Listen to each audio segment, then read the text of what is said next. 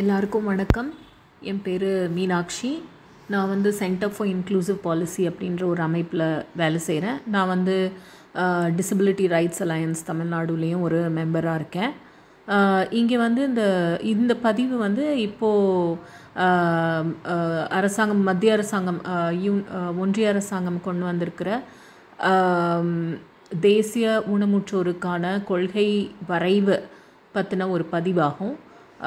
அரசாங்கம் வந்து இது ஒன்பது ஜூலை ஒன்பதாம் தேதிக்குள்ளே நம்மக்கிட்டேருந்து கருத்து கேட்டு வெளியிட்டிருக்காங்க இந்த கொள்கையில் பார்த்திங்கன்னா பதினாலு பிரிவு இருக்குது முதல் பிரிவு வந்து இன்ட்ரடக்ஷன் முன்னுரை. ரெண்டாவது பிரிவு இந்த கொள்கையுடைய பிரின்சிபிள்ஸ் தொலைநோக்கு மற்றும் இதை செயல்படுத்தும் நெறிமுறை அதை பற்றி சொல்லியிருக்காங்க. மூணாவதில் வந்து உண உணத்தை தடுத்தல் ஏர்லி ஐடென்டிஃபிகேஷன் அண்ட் இன்டர்வென்ஷன் அதை பற்றி சொல்லியிருக்காங்க. அதாவது ஆரம்ப நிலை க கண்டறிதல் மற்றும் அதுக்கான வேலைகளை செய்கிறது அப்புறம் நாலாவது பிரிவில் வந்து டிசபிலிட்டி சர்டிஃபிகேஷன் ஊனமுற்றோருக்கான அடையாள அட்டை மற்றும் ப சான்றிதழ் பற்றி சொல்லியிருக்காங்க.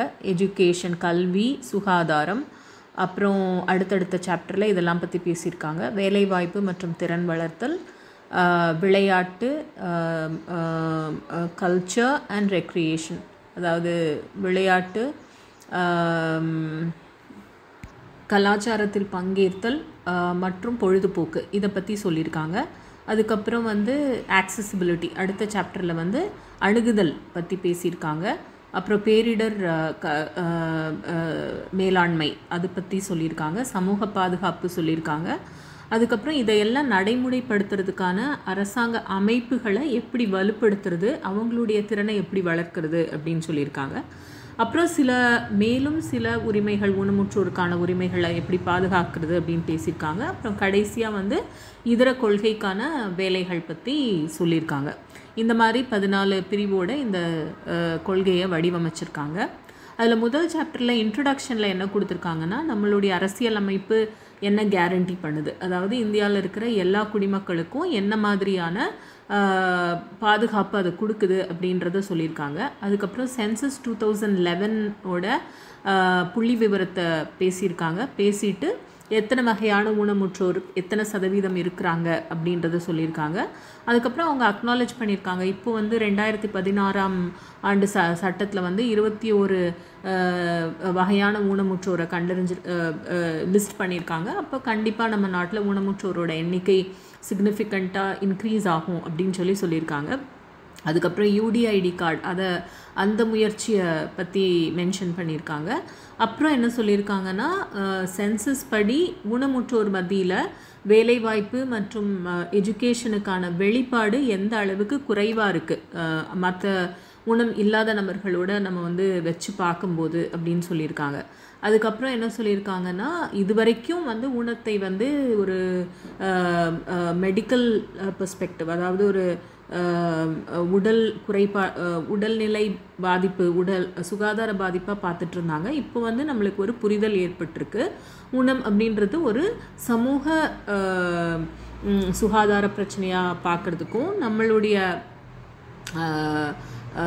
கல்வி வேலைவாய்ப்பு அணுகுதல் மற்றும் அணு அணுகுதல் போன்ற விஷயங்களையும் நம்ம பார்க்கணும். அது வந்து தொண்ணூற்றி ஐந்தாம் ஆண்டு சட்டத்தில் அந்த மாதிரி சொல்லியிருக்கு அப்படின்னு சொல்லியிருக்காங்க. அதுக்கப்புறம் வந்து இந்த கொள்கையோட காரணம் அதுக்கப்புறம் என்ன சொல்லியிருக்காங்கன்னா இந்த ஐநா சபை அறிக்கை பற்றி சொல்லியிருக்காங்க. அதோட கொள்கைகளை பற்றி சொல்லியிருக்காங்க. அதாவது ஊனமுற்றோரை மதித்தல் அவர்களுடைய மா தனி மனித மாண்புக்கு அட்டானமி அதை ரெஸ்பெக்ட் பண்ணுறதை பற்றி சொல்லியிருக்காங்க. நான்டு பாகுபாடின்மை பற்றி சொல்லியிருக்காங்க. முழுமையான பங்கேற்பு பற்றி சொல்லியிருக்காங்க. இன்க்ளூஷன் பற்றி சொல்லியிருக்காங்க. சம வாய்ப்பு பற்றி சொல்லியிருக்காங்க. த அணுகுதல் பற்றி சொல்லியிருக்காங்க. ஆண் பெண்கான ஈக்குவாலிட்டி சமத்துவத்தை பற்றி சொல்லியிருக்காங்க. அப்புறம் குழந்தைகளுக்கான வளரும் திறமையை மதிக்கணும் அவங்களுடைய அடையாளத்தை பாதுகாக்கணும் அப்படின்றதெல்லாம் ஐநா சபை அறிக்கையில் சொல்லியிருக்கு. அதை பற்றி இவங்க பேசியிருக்காங்க. அதை தவிர இந்தியா எந்த மாதிரியான இன்டர்நேஷ்னல் இன்டர்நேஷ்னல் ஸ்ட்ராட்டஜிஸ் கொள்கைகள் அதிலெல்லாம் நம்ம எதெல்லாம் பங்கேற்கும்? ஃபார் எக்ஸாம்பிள் இன்ஷான் ஸ்ட்ராட்டஜியில் நம்ம கையெழுத்திட்டதை பற்றி சொல்லியிருக்காங்க. அதுக்கப்புறம் நம்ம நாட்டில் ஏற்கனவே இருக்கிற சட்டங்கள் அதாவது rehabilitation RCI act national trust act அப்புறம் rights of persons with disabilities act two thousand sixteen அப்புறம் mental health care act of two thousand seventeen இது எல்லாமே இந்தியாவில் இருக்குது அப்படின்றத பற்றி சொல்லியிருக்காங்க. அப்போது இந்த அப்புறம் இதை தவிர என்ன சொல்லியிருக்காங்கன்னா ஒன்றிய அரசாங்கத்தோட social justice and empowerment ministry கீழே இருக்கிற ஊனமுற்றோருக்கான துறை எந்த மாதிரி திட்டங்களை செயல்படுத்திகிட்டு இருக்காங்க? அந்த ஒவ்வொரு திட்டத்துக்கும் எவ்வளோ வந்து முக்கியத்துவம் அந்த மினிஸ்ட்ரியோட இதுலேருந்து கொடுத்துருக்காங்க அப்படின்னு சொல்லிட்டு சொல்லியிருக்காங்க. அப்போது இந்த நேரத்தில் இந்த புதிய பா கொள்கைக்கான அவசியம் என்ன அப்படின்றத விழாவரியாக ஒரு ரெண்டு பக்கத்தில் சொல்லியிருக்காங்க. என்ன மாதிரி பிரச்சனைகளை இது அணுகுவதற்காக அணுகுவதற்காக இந்த கொள்கை வந்திருக்கு அப்படின்னு சொல்லியிருக்காங்க. ஃபர்ஸ்ட் வந்து என்ன பிரச்சனைனா மக்களுடைய பார்வை ஊனமுற்றோர் குறித்த பார்வையை மாற்றம் ஏற்படுத்தணும். அதுக்கான வேலைகள் செய்யணும் அப்படின்னு சொல்லியிருக்காங்க. அப்புறம் ஊனமுற்றோர் மத்தியில் அவங்களுடைய செல்ஃப் கான்ஃபிடென்ஸ் தன்னம்பிக்கையும் அதை வந்து சுயமரியாதையும் எப்படி கொண்டு வருது? அவங்க மத்தியில் எப்படி கொண்டு வருது அப்படின்றத சொல்லியிருக்காங்க. அப்புறம் அணுகுதலுக்கு தகுந்த கட்டமைப்பு போக்குவரத்து வசதி தகவல் தொடர்பு போன்றவைய எப்படி யுனிவர்சல் டிசைன் அனைவருக்கும் உள்ளட ஆஹ், அணுகுதலுக்குரிய ஒரு கொள்கைக்குள்ளே எப்படி கொண்டு வரணும் அப்படின்னு சொல்லி அது வந்து ஒரு பிரச்சனையாக அதை வந்து கொண்டு வரதுக்காக இந்த கொள்கை வேணும்னு சொல்லியிருக்காங்க. அதுக்கப்புறம் வந்து புள்ளி விவரம் ஊனமுற்றோருக்கான புள்ளி விவரம் கொண்டு வரணும். அதில் நமக்கு கேப் இருக்குது அதை அட்ரஸ் பண்ணும் இந்த கொள்கை அப்படின்னு சொல்லியிருக்காங்க. அதுக்கப்புறம் ஊனமுற்றோருக்கான அடையாள அட்டை வந்து எப்படி வந்து எல்லா மாவட்டங்கள்லையும் மாநிலங்கள்லையும் யூனிட் யூனியன் டெரிட்டரிஸ்லேயும் எல்லா அமைச்சகத்துலேயும் துறைகள்லையும் அதை எப்படி ஒரு ஒ- ஒ- ஒருங்கிணைந்து செயல்பட வைக்கிறது. அது ஒரு பிரச்சனை இருக்குது அதையும் அட்ரஸ் பண்ணும் இந்த கொள்கை அப்படின்னு சொல்லியிருக்காங்க. அப்புறம் இம் ஊனமுற்றோர் மத்தியில் வேலைவாய்ப்புக்கான திறன் வளர்த்தல் அப்புறம் வந்து அரசாங்கத்துக்கு வெளியே தனியார் நிறுவனங்கள் எப்படி வந்து ஊனமுற்றோருக்கு எப்படி வேலை வாய்ப்பு கொடுக்கறதுக்கு எப்படி அவங்கள மோட்டிவேட் பண்ணலாம் அப்படின்றத சொல்லியிருக்காங்க. அதுக்கப்புறம் என்ன முக்கியமாக என்ன சொல்லியிருக்காங்கன்னா ஊனமுற்றோர் துறை ஊனமுற்றோர் மத்தியில் அவங்களுக்கு ட்ரெயின் பண்ணுறவங்க ரிசர்ச் அந்த வளங்களை எப்படி வளர்க்குறது அப்புறம் சமூக பாதுகாப்பை எப்படி வலுப்படுத்துறது அப்புறம் நம்மளுக்கான அசிஸ்டிவ் டிவைசஸ் அண்ட் அப்ளையன்சஸ் உதவி உபகரணங்கள் அதை எப்படி குறைந்த செலவில் அனைவருக்கும் கிடைக்க செய்ய முடியும் அப்புறம் வந்து ஊனமுற்றோரை எப்படி எல்லா முடிவு எடுக்கும் நிலைகளையும் பங்கேற்க வைக்கணும் அதுக்கு என்ன செயல்படுத்தணும் அப்படி பங்கேற்கிறாங்களா அப்படின்றத எப்படி கண்காணிக்கிறது எப்படி அமல்படுத்துறது அதை நம்ம செய்ய வேண்டியது இருக்குது அப்புறம் ஐநா சபை அறிக்கையோட எல்லா கொள்கைகளையும் எப்படி வந்து நம்ம ஒவ்வொரு அரசாங்கத்தோட ஒவ்வொரு முயற்சியிலையும் அதை எப்படி உள்ளடக்கி செயல்பட வைக்கிறது. அதுக்கப்புறம் வந்து மாநிலம் மற்றும் மத்திய அரசாங்க எப்படி ரிசோர்ஸ் மொபிலைசேஷன் அதாவது பொருளாதாரமாக இருக்கட்டும் ஹியூமன் ரிசோர்ஸாக இருக்கட்டும் டிசபிலிட்டி ஸ்பெசி ஊனமுற்றோருக்கு ஆக தேவை இருக்கக்கூடிய அந்த வேலைகளை செய்வதற்கான வளங்களை எப்படி ப்ரமோட் பண்ணுறது அப்படின்றத சொல்லியிருக்காங்க. அப்புறம் எப்படி இதெல்லாம் அமல்படுத்த போகிறோம் அப்புறம் வந்து இன்க்ளூசிவ் எஜுகேஷன் சுகாதாரத்துறையில் நமக்கு முன் உரிமை பேரிடர் காலத்தை எப்படி அணுகிறது? அப்புறம் இதர உரிமைகளை எப்படி பாதுகாக்கிறது? அப்படின்றத பற்றியும் அதிலெல்லாம் இருக்கிற இடைவெளிகளை பூர்த்தி செய்கிறதுக்காகவும் தான் இந்த கொள்கை இருக்குது அப்படின்னு சொல்லிட்டு சொல்லியிருக்காங்க. இதுதான் ச முதல் பிரிவில் சொல்லியிருக்காங்க. ரெண்டாவது பிரிவில் இந்த கொள்கையோட கொள்கைகள் என்ன அப்படின்றத சொல்லியிருக்காங்க. இதில் வந்து நிறையா கொள்கைகள் ஐடென்டிஃபை பண்ணியிருக்காங்க. முதல் கொள்கையாக ஊனமுற்றோரை ஒரு மனித வளமாக நம்ம பார்க்கணும் அப்படின்றத ரெக்கக்னைஸ் பண்ணணும் அப்படின்னு சொல்லியிருக்காங்க. அப்புறம் வந்து எல்லா அனைவருக்கும் இருக்கக்கூடிய எல்லா வகையான உரிமைகளும் சுதந்திரமும் ஊனமுற்றோருக்கும் கிடைக்கணுன்றத நம்ம ரெக்கக்னைஸ் பண்ணோம் அப்படின்னு சொல்லியிருக்காங்க. அப்புறம் ஊனத்தின் அடிப்படையிலான வன்முறை மற்றும் பாகுபாடு வந்து நடந்துட்டுருக்கு அப்படின்றத ரெக்கக்னைஸ் பண்ணணும்னு சொல்லியிருக்காங்க. அப்புறம் ஊன ஊனமுற்றோருன்ற அது வந்து ஒரே மாதிரியான மக்கள் கிடையாது. அதில் இருக்கிற டைவர்சிட்டி அதில் இருக்கிற வேற்றுமைகளையும் நம்ம ரெக்கக்னைஸ் பண்ணோம். எல்லா வகையான ஊனமுற்றோர் ஹை சப்போர்ட் நீட்ஸ் அதிக உதவி தேவை இருக்கிற ஊனமுற்றோரையும் நம்ம வந்து அவங்களுடைய உரிமைகளை மத் பாதுகாத்து வளர்க்கணும். வளர்க்கது வளர்ப்பதற்கான எந்த மாதிரி வேலைகள் செய்யணுமோ அதை செய்யணும். அதையும் ரெக்கக்னைஸ் பண்ணணும் அப்படின்னு சொல்லியிருக்காங்க. அதுக்கப்புறம் அவங்களுடைய சு சுதந்திரம் மற்றும் சுயமரியாதை சுய ஆளுமையை நம்ம வந்து ரெக்கக்னைஸ் பண்ணோம். ஊனமுற்ற பெண்கள் மற்றும் ஊனமுற்ற குழந்தைகள் அவங்க வந்து வயலன்ஸ் அப்யூஸ் அண்ட் எக்ஸ்ப்ளாய்டேஷனுக்கு ரொம்ப ரிஸ்க் இருக்குது அவங்களுக்கு மத்தியில் நடக்கிறதுக்கு. ஸோ அதை நம்ம ரெக்கக்னைஸ் பண்ணோம். ஊனமுற்ற குழந்தைகளுக்கான உரிமைகள் பத் அதை ரெக்கக்னைஸ் பண்ணோம். அப்புறம் தடையற்ற சூழல் மற்றும் அணுகுதல் கட்டமைப்பு சமூகம் பொருளாதாரம் அப்புறம் வந்து கலாச்சார தளங்களில் நம்மளுடைய அணுகுதல் எப்படி கொண்டு வரணும் அப்படின்னு சொல்லியிருக்காங்க. அப்புறம் நமக்கான வாய்ப்புகளை அதிகரிக்கிறத பற்றி ரெக்கக்னைஸ் பண்ணணும் அப்படின்னு சொல்லியிருக்காங்க. அப்புறம் ஊனமுற்றோரோட எப்படி பங்கேற்பை அதிகரித்தது அரி அதி அதி அதிகரிக்கிறது. அப்புறம் வந்து ப இன்டர்நேஷ்னல் கோஆப்ரேஷன் அதை எப்படி படுத்துறது. நம்மளுடைய எல்லா வேலைகளையும் எப்படி ஜெண்டர் ஜெண்டர் பெர்ஸ்பெக்டிவ் அதை எப்படி கொண்டு வர்றது அப்படின்றதையும் இந்த கொள்கை ரெக்கக்னைஸ் பண்ணும் அப்படின்னு சொல்லியிருக்காங்க. ஸோ இந்த கொள்கையோட தொலைநோக்கா என்ன சொல்லியிருக்காங்கன்னா ஒரு உள்ளடங்கிய சமுதாயத்தை உருவாக்குவது. அதில் ஊனமுற்றோர் எப்படி ஒரு பாதுகாப்பான மரியாதைக்குரிய ப்ரொடக்டிவான ஒரு வாழ்க்கை இதுக்கான வழிவகை செய்வது தான் இந்த கொள்கையோட தொலைநோக்காக சொல் சொல்லியிருக்காங்க. ஸோ இதை எப்படி நெறி வழிமுறைப்படுத்த போகிறாங்க அப்படின்றத ஒரு மிஷன் ஸ்டேட்மெண்ட்டாக சொல்லியிருக்காங்க. அந்த மிஷன் ஸ்டேட்மெண்ட்டில் என்ன சொல்லியிருக்காங்கன்னா ஏற்கனவே நடைமுறையில் இருக்கிற திட்டங்கள் மற்றும் ப்ரோக்ராம்ஸை எப்படி வலுப்படுத்துறது அப்புறம் நம்மளுக்கான அமல்படுத்தும் துறைகள் ஊனமுற்றோர் துறைகளை அவங்களுடைய துறைகள் எப்படி செயல்படணும் அவங்களுடைய திறனை எப்படி வளர்க்கணும் அப்படின்னு சொல்லியிருக்காங்க. அப்புறம் வந்து உள்ளடங்கிய கல்வி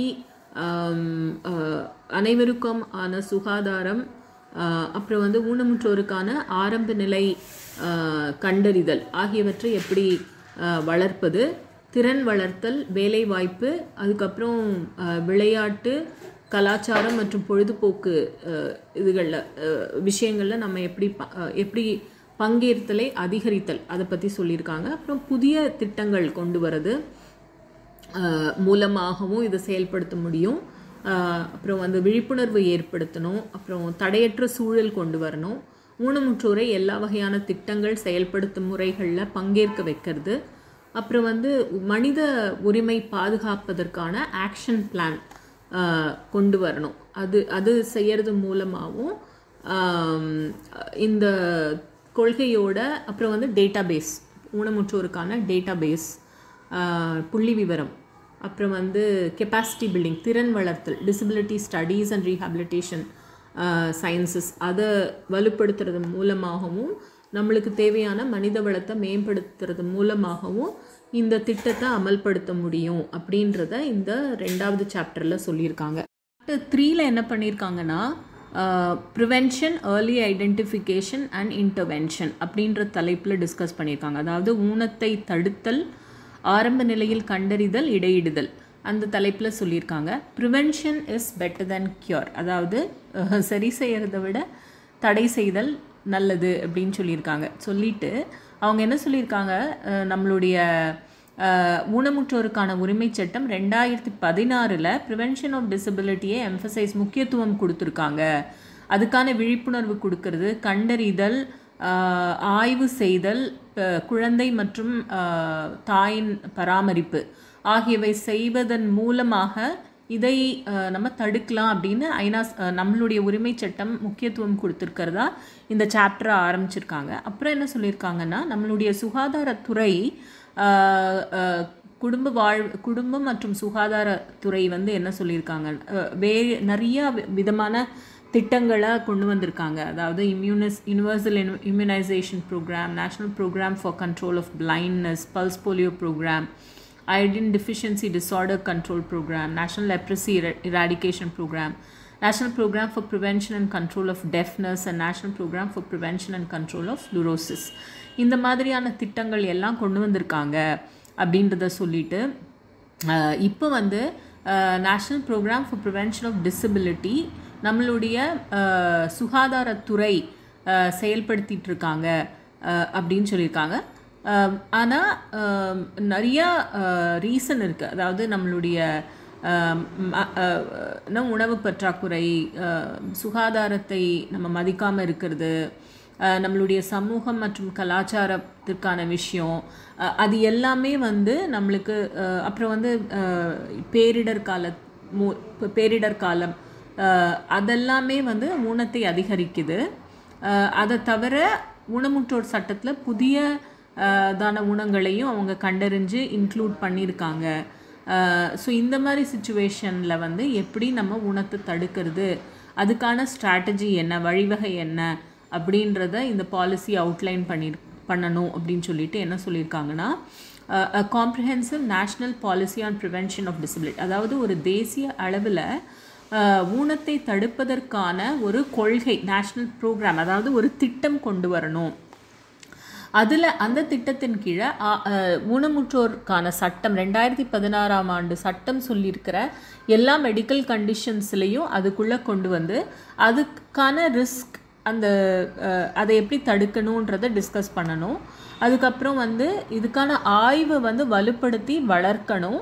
அப்புறம் ப்ரைமரி ஹெல்த் கேர் ஒர்க்கர்ஸ் ஆரம்ப சுகாதார நிலை துறை நிலை வேலை பணியாளர்கள் அப்புறம் வந்து கிராம அளவில் இருக்கிற வேலை வேலை பணியா சுகாதார பணியாளர்கள் ஆங்கன்வாடி ஒர்க்கர் ஆஷா ஒர்க்கர் ஆரம்ப பள்ளி கூட ஆசிரியர்கள் அவர்களுக்கெல்லாம் வந்து நம்ம விழிப்புணர்வு ஏற்படுத்தி ஊனத்தை ஆரம்ப நிலையிலேயே கண்டெடுத்து அதை தடு தடு தடுக்கிறதுக்கான ஊனத்துக்கான காரணங்களை பற்றின சென்சிட்டைசேஷன் கொடுத்து அதை எப்படி தடுக்கிறது அப்படின்றத சொல்லணும் அப்படின்னு சொல்லி சொல்லியிருக்காங்க. அப்புறம் வந்து ஆஷா ஒர்க்கர் அங்கன்வாடி ஒர்க்கர் அவங்களுக்கெல்லாம் ரெகுலராக ட்ரைனிங் கொடுக்கணும். ஏர்லி ஆரம்ப நிலையில் கண்டறிதல் மற்றும் ரீஹாபிலிட்டேஷன் அந்த இதில் ஆரம்ப நிலை கண்டறிதல் மற்றும் மறுவாழ்விற்கான ட்ரைனிங் ஊனமுற்றோருக்கான மறுவாழ்வுக்கான பயிற்சிகளை ஆஷா ஒர்க்கர் ஆங்கன்வாடி ஒர்க்கருக்கு கொடுக்கணும்னு சொல்லியிருக்காங்க. இது வந்து ஒரு ரொம்ப தவறான ஒரு சாப்டராகவே நான் பார்க்குறேன் எப்படி ஊனமுற்றோரை தடுக்க ஊனத்தை எப்படி தடுக்க முடியும் இல்லையா? ஐநா சபை அறிக்கையின் அடிப்படையில் பார்த்தா நம்மளுக்கு செக செகண்டரி இம்பேர்மெண்ட் வராமல் தடுக்கலாமே தவிர ப்ரைமரி ப்ரிவென்ஷன் வந்து பண்ணக்கூடாது.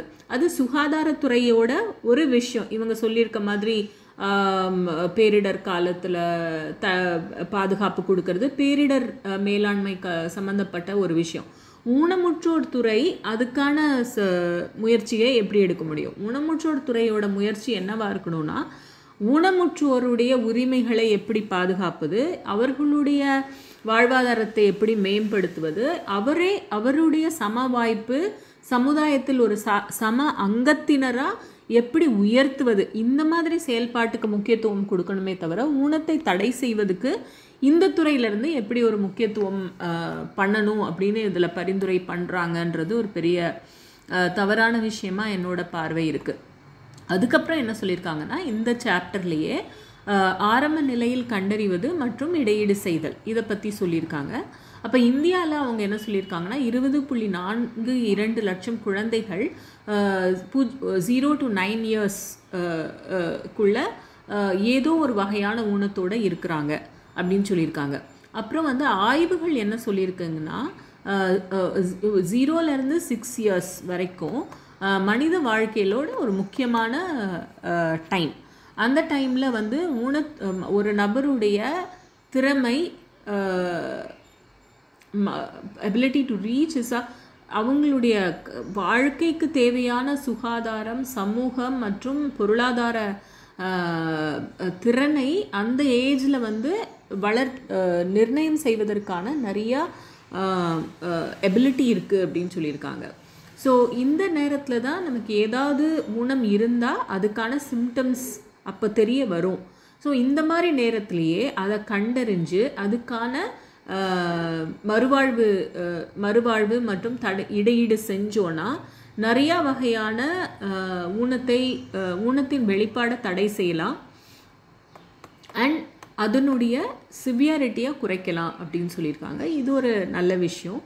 அதுக்கப்புறம் நம்ம நாட்டை பொறுத்த வரைக்கும் குழந்தைகளுக்கான இடையீடு ஆரம்ப நிலை இடையீடு ரொம்ப முக்கியமான விஷயம். அதுக்கு தேவையான திறன் தேவையாக தேவையா இருக்குது மனித வளம் தேவையாக இருக்குது இதன் இது நம்ம கொடுக்கறது மூலமாக குழந்தைகள் அவங்களுடைய வாழ்க்கையில் தரமான ஒரு சுதந்திரமான வாழ்க்கை வாழ முடியும் அப்படின்னு சொல்லியிருக்காங்க. ஸோ இதுக்கான அப்ரோச் என்ன பண்ணியிருக்காங்க அப்படின்னா தரமான அஹ், சு- அஹ், கண்டறிதல் மற்றும் இடையீடுக்காக இந்த கொள்கை என்ன சொல்ல வருது அப்படின்னாக்க அனைத்து வகையான ஊனமுற்றோருக்கான ஆரம்ப நிலை மையங்கள் அனைத்து மாநி மாவட்டங்கள்லேயும் கொண்டு வரணும் அப்படின்னு சொல்லியிருக்காங்க. அங்கே எல்லா இடத்துலையும் ஸ்க்ரீனிங் அண்ட் ஐடென்டிஃபிகேஷன் ஃபெசிலிட்டி இருக்கணும். அதுக்கப்புறம் வந்து physiotherapy speech therapy occupational therapy behavioural therapy அதெல்லாம் அந்த மையங்களில் செயல்படுத்தணும். அதுக்கப்புறம் குழந்தைகளுடைய பெற்றோர்கள் மற்றும் பியர்ஸ் நண்பர்கள் அவங்களுக்கு கவுன்சிலிங் பண்ணுற மாதிரியான இருக்கணும். அதுக்கப்புறம் க கல் பள்ளி கல்விக்கான ரெடினஸ் அதாவது நம்மளுடைய ப்ரிப்பேர் பண்ணுறது குழந்தைங்கள ப்ரிப்பேர் பண்ணுறது அதாவது அதுக்கான ப பரிமாற்றங்கள் லாங்குவேஜ் மொழி வளர்ச்சி உ- உடல் மற்றும் இன்னும் இமோஷ்னல் டெவலப்மெண்ட் அதுக்கான பயிற்சிகளையும் அந்த ஃபெசிலிட்டி அந்த மையத்தில் இருக்கணும்னு சொல்லியிருக்காங்க. அதுக்கப்புறம் இந்த மையங்களில் வந்து மறுவாழ்விற்கான மனித வளம் சைக்காலஜிஸ்ட் அதுக்கப்புறம் special educator activity teacher nurse paediatrician therapeutic experts இவங்க எல்லாருமே அதில் வேலை பார்க்கணும். அப்புறம் நம்மளுடைய தேசிய நேஷ்னல் இன்ஸ்டிடியூட்ஸ் எல்லாம் இருக்கு இல்லையா? அது அப்புறம் சிஆர்சி அப்புறம் வந்து நம்மளுடைய ஊனமுற்றோருக்கான துறைக்கு கீழே இருக்கிற நேஷ்னல் இன்ஸ்டிடியூட்ஸ் எல்லாமே வந்து அனைத்து வகையான ஊனமுற்றோருக்கான ஆரம்ப நிலை கண்டறிதல் மற்றும் இடையீடு செய்வதற்கான வசதி எல்லாத்துலேயும் இருக்கணும். எல்லா நேஷ்னல் இன்ஸ்டியூட்ஸையும் அதுக்கு ஏற்ற மாதிரி மேம்படுத்தணும் அப்படின்னு சொல்லியிருக்காங்க.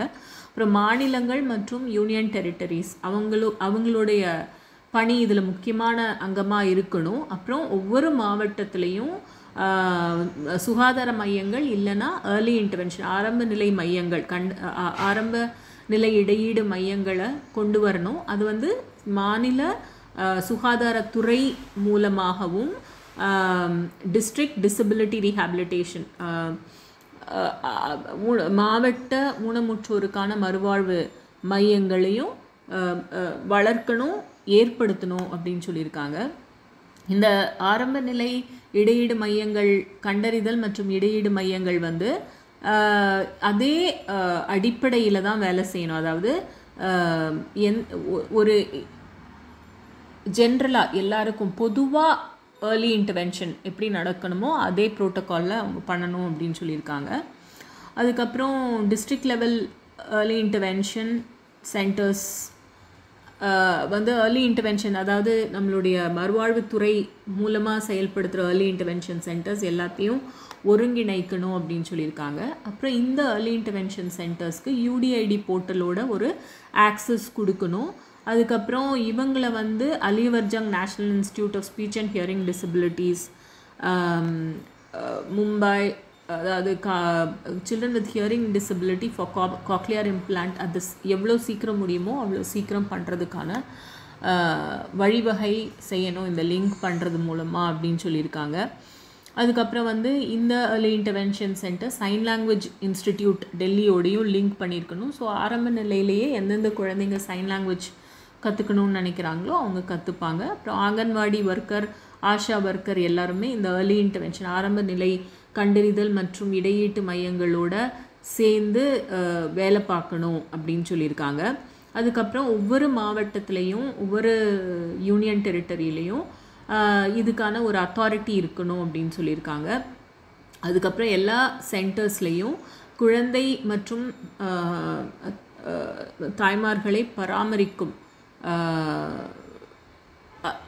ஆரம்ப நிலை பராமரிப்பு பற்றின ஒரு விஷயங்கள்க்கான இன்ஃபர்மேஷன் அவேர்னஸ் இருக்கணும்னு சொல்லியிருக்காங்க. அப்புறம் அது வந்து மாவட்ட டிஸ்ட்ரிக்ட் அளவுலேயும் வில்லேஜ் லெவல்லையும் அது செயல்படணும். அந்த விழிப்புணர்வு இது செயல்படணும் அப்படின்னு சொல்லியிருக்காங்க. அப்புறம் இந்த ஏர்லி இன்டர்வென்ஷன் சென்டர்ஸ் வந்து ஸ்டாஃப் அதாவது பிஹெச்சி லெவலில் அதாவது public health centre cluster community health centre ASHA worker anganwadi worker அப்புறம் home based rehabilitative care services மறுவாழ்வு பராமரிப்பு கொடுக்குற வீட்டிலேயே போய் மறுவாழ்வு கொடுக்குற நபர்கள் அவங்களுக்கெல்லாம் ஒரு பயிற்சி வளர்க்கும் மையமாகவும் இது செயல்படணும் அப்படின்னு சொல்லியிருக்காங்க. இது எல்லாமே வந்து மூணாவது சாப்டரில் சொல்லியிருக்காங்க. சாப்டர் ஃபோரில் என்ன சொல்லியிருக்காங்கன்னா டிசபிலிட்டி சர்டிஃபிகேஷன் ஊனமுற்றோரோட அடையாளம் சர்டிஃபிகேட் கொடுக்குது. ஊனத்தின் எப்படி அடையாள அட்டை மற்றும் சர்டிஃபிகேட் அந்த ஒரு விஷயத்தை பற்றி பேசியிருக்காங்க. அதில் என்ன சொல்லியிருக்காங்கன்னா நம்ம மத்திய அரசாங்கம் வந்து கைட்லைன்ஸ் கொண்டு வந்திருக்காங்க. எப்படி ஊனமுற்றோரை அசஸ் பண்ணுறது அப்புறம் வந்து எந்த மாதிரி மெடிக்கல் அத்தாரிட்டிஸ் வேணும் அப்புறம் எப்படி நம்ம வந்து சர்டிஃபிகேஷன் ப்ராசஸ் என்ன எப்படி சர்டிஃபிகேட் கொடுக்கறது என்ன மாதிரியான எக்ஸ்பர்ட்ஸ் அதில் இருக்கணும் அது எல்லாமே ஏற்கனவே நம்மளுக்கு சொல்லியிருக்காங்க. நம்மளுடைய ஆர்பிடிஏ டூ தௌசண்ட் சிக்ஸ்டீனில் அது கீழே கொண்டு வந்திருக்கிற ரூல்ஸ்லேயும் மெடிக்கல் அத்தாரிட்டிஸ் பற்றி பேசியிருக்காங்க. சென்ட்ரல் கவர்மெண்ட் நம்ம மத்திய அரசாங்கம் வந்து யூடிஐடி ப்ராஜெக்ட் பண்ணிட்டு இருக்காங்க அது ஒரு ஆன்லைன் பிளா பிளாட்ஃபார்ம் அதில் அப்ளிகேஷன் அண்ட் ஊனமுற்றோருக்கான சர்டிஃபிகேஷனும் நம்ம வாங்கிக்கலாம் அப்படின்றதையும் அதை பற்றி சொல்லியிருக்காங்க. அதுக்கப்புறம் என்ன சொல்லியிருக்காங்கன்னா இந்த கொள்கை எதை நடைமுறைப்படுத்த போகுது அப்படின்னா டிஸ்ட்ரிக்ட் லெவல் மெடிக்கல் அத்தாரிட்டிஸ் வந்து முப்பது நாளைக்குள்ளே வந்து நம்ம சர்டிஃபிகேட் கொடுத்து நம்ம அப்ளிகேஷன் கொடுத்து முப்பது நாளைக்குள்ள நமக்கு சர்டிஃபிகேட் கிடைக்கிறதுக்கு வழிவகை செய்யணும் அப்படின்னு சொல்லியிருக்காங்க. அப்புறம் மாநிலம் மாநில அளவில் அதிகாரிகள் என்ன பண்ணணும்னா எல்லா சுகாதாரத்துறையிலையும் வந்து ஸ்பெஷலிஸ்ட் இருக்கிற மாதிரியான வழிவகை செய்யணும். அவங்களுடைய பொருளாதார நிலைமைக்கு ஏற்ற மாதிரி அப்படின்னு சொல்லியிருக்காங்க. அதுக்கப்புறம் வந்து ஒரு நாள் ஒவ்வொரு பதினஞ்சு நாளைக்கு ஒரு தடவை ஒவ்வொரு ஒரு நாள் ஃபிக்ஸ் பண்ணி ஊனமுற்றோருக்கான அடையாள அட்டை வழங்குவதற்கான ஒரு தினமாக ஃபிக்ஸ் பண்ணணும்னு சொல்லியிருக்காங்க. அப்புறம் ஒவ்வொரு மாநிலத்தில் இருக்கிற மாவட்டத்தில் இருக்கிற சுகாதாரத்துறையில் வந்து அதுக்கு தேவையான எக்யூப்மெண்ட் உத உபகரணங்கள் மற்றும் வசதிகள் டெஸ்ட் பண்ணுறதுக்கு அதாவது blood disorder locomotor disability visual disability hearing disability இதெல்லாம் டெஸ்ட் பண்ணுறதுக்கு ஆன வசதிகளும் அதுக்கான இ- இயந்திர அப்ளையன்ஸ் எக்யூப்மெண்ட்ஸ் பொரு இதுவும் எக்யூப்மெண்ட்டும் இருக்கணும்னு சொல்லியிருக்காங்க. இதை தவிர ஒவ்வொரு சுகாதார மையத்துலேயும் ஒரு சைன் லாங்குவேஜ் இன்டர்பிரெட்டர் இருக்கணும்னு சொல்லியிருக்காங்க. அப்புறம் மாநிலம் மற்றும் யூனியன் டெரிட்டரி அளவில் என்ன சொல்லியிருக்காங்கன்னா ஒரு அசஸ்மெண்ட்டுக்கு ரெண்டு தடவைக்கு மேலே அதாவது நம்ம விசிட் பண்ணாத நிலமையில நம்ம இருக்க இருக்கணும். மேக்ஸிமம் ரெண்டு தடவை விசிட் பண்ணணும். அதுக்குள்ளே ஊனமுற்றோருக்கு அவங்களுடைய அசஸ்மெண்ட் பண்ணி சர்டிஃபிகேட் கொடுத்துடணும் அப்படின்னு சொல்லியிருக்காங்க. இப்போ வந்து சில பேர் சில ஊனமுற்ற நபரால் அவங்க இருக்கிற இடத்துல இருந்து மூவ் பண்ணி போக முடியாது. அவங்கள சுகாதாரத்துறைக்கு அவங்க கு- குடும்பத்தினரால் கொண்டு வர முடியாது. அந்த மாதிரி நேரத்தில் மொபைல் டிசபிலிட்டி சர்டிஃபிகேஷன் டீமை வந்து மாவட்ட அளவில் உருவாக்கணும் அப்படின்னு சொல்லியிருக்காங்க. அதுக்கப்புறம் இந்த அசஸ்மெண்ட் ப்ராசஸை ஃபுல்லாக யூடிஐடி போர்ட்டலுக்குள்ளே கொண்டு வரணும். அண்ட் எல்லா சர்வீஸ் டெலிவரி ஸ்கீம்ஸ் நம்மளுக்கான எல்லா திட்டங்களும் ப்ரோக்ராமும் uh, இந்த யூடிஐடியோட லிங்க் பண்ணும். நமக்கு நிறைய சர்டிஃபிகேட் அதெல்லாம் கேட்கக்கூடாது அப்படின்னு சொல்லியிருக்காங்க. அதுக்கப்புறம் க்ளோஸ் கோஆர்டினேஷன் அதாவது ஊனமுற்றோர் துறை அப்புறம் வந்து சுகாதாரத்துறை uh, மாவட்ட அளவுலேயும் சரி மாநில அளவுலேயும் சரி சேர்ந்து இணைந்து வேலை பார்க்கணும் அப்படின்னு சொல்லியிருக்காங்க. இதை மட்டும்தான் அவங்க சொல்லியிருக்காங்க. அடையாள அட்டை பற்றியும் ஊனத்தை கண்டறிதல் பற்றியும் அவங்க சொல்லும்போது சொல்லியிருக்காங்க. ஆனால் ஏற்கனவே இருக்கிற பிரச்சனை என்னென்னா ஃபஸ்ட்டு சுகாதாரத்துறையில் என்னெல்லாம் பிரச்சனை இருக்கோ அதை நம்ம நம்மளுக்கு இது தானே நம்ம அனுபவிக்கிற மாதிரி இருக்கும். ஸோ நம்பர் ஆஃப் விசிட்ஸ் அதாவது எவ்வளோ தடவை நம்ம ரெண்டு தடவைக்குள்ளே கொடுக்கணும் மொபைல் டீம் கொண்டு வந்து நிறைய அதிக தடை சந்திக்கிற ஊனமுற்றோருக்கு அந்த ஃபெசிலிட்டி இருக்கணும் இதெல்லாம் ஒரு நல்ல விஷயமா இருக்குது அப்புறம் ஒரே சர்டிஃபிகேட் மட்டும் யூடிஐடி மட்டுமே வச்சு நம்ம எல்லா திட்டங்களையும் எல்லா துறை கொடுக்குற திட்டங்களையும் அணு அணுக முடியணும் அப்படின்னு சொல்கிறது ஒரு நல்ல விஷயமா இருக்குது ஆனால் இது வந்து மெடிக்கல் அதாவது ஃபுல் அண்ட் ஃபுல் வந்து சுகாதாரத்துறை சுகாதாரத்துறை வல்லுநர்கள் சார்ந்த ஒரு விஷயமா இருக்கிறதுனால நம்ம இன்னும் சோஷியல் மெடிக்கல் மாடலுக்கு மூவ் ஆகலை அப்படின்றது தெரியுது. அது மட்டும் இல்லை நமக்கு வந்து அந்த ஸ்பெஷலிஸ்ட் அதாவது சுகாதாரத்துறையிலேயே பிரச்சனை இருக்கு இல்லையா? நமக்கான மெடிக்கல் வல்லுநர்கள் க குறைவாக இருக்காங்க. அப்போ இந்த செயல்பாடில் எப்படி ஒரு மாற்றம் இருக்கும்? அது சரியாகாதப்போ இது எப்படி மாற்றம் இருக்கும் அப்படின்றது தெரியல. அப்புறம் எல்லாமே மாவட்ட அளவில் தான் திருப்பியும் சொல்லியிருக்காங்க. அப்போது ஒரு வில்லேஜில் ஒரு பிளாக்ல இருக்கிறவங்க எவ்- ஒரு ஒரு மாவட்டத்துக்கு போகும்போது பதினஞ்சு நாளைக்கு ஒரு தடவை தான் இந்த இந்த துறை மீட் பண்ணணும் அப்படின்ற மாதிரி பரிந்துரை இருக்குது ஸோ இது எல்லாம் ஏற்கனவே இருக்கிறது தானே தவிர எந்த மாற்றத்தையுமே இந்த கொள்கை கொண்டு வரல. இதில் எப்படி ஊனமுற்றோர் இயக்கங்களை இன்வால்வ் பண்ண போகிறாங்க கம்யூனிட்டி சோஷியல் ஒர்க்கர் மூலமாக எப்படி பண்ண போகிறாங்க அப்புறம் நம்ம வந்து என்ன மாதிரி உதவிகள் நமக்கு என்ன மாதிரி திட்டங்கள் தேவை? எல்லாருக்கும் ஒரே மாதிரி திட்டங்கள் போதுமா?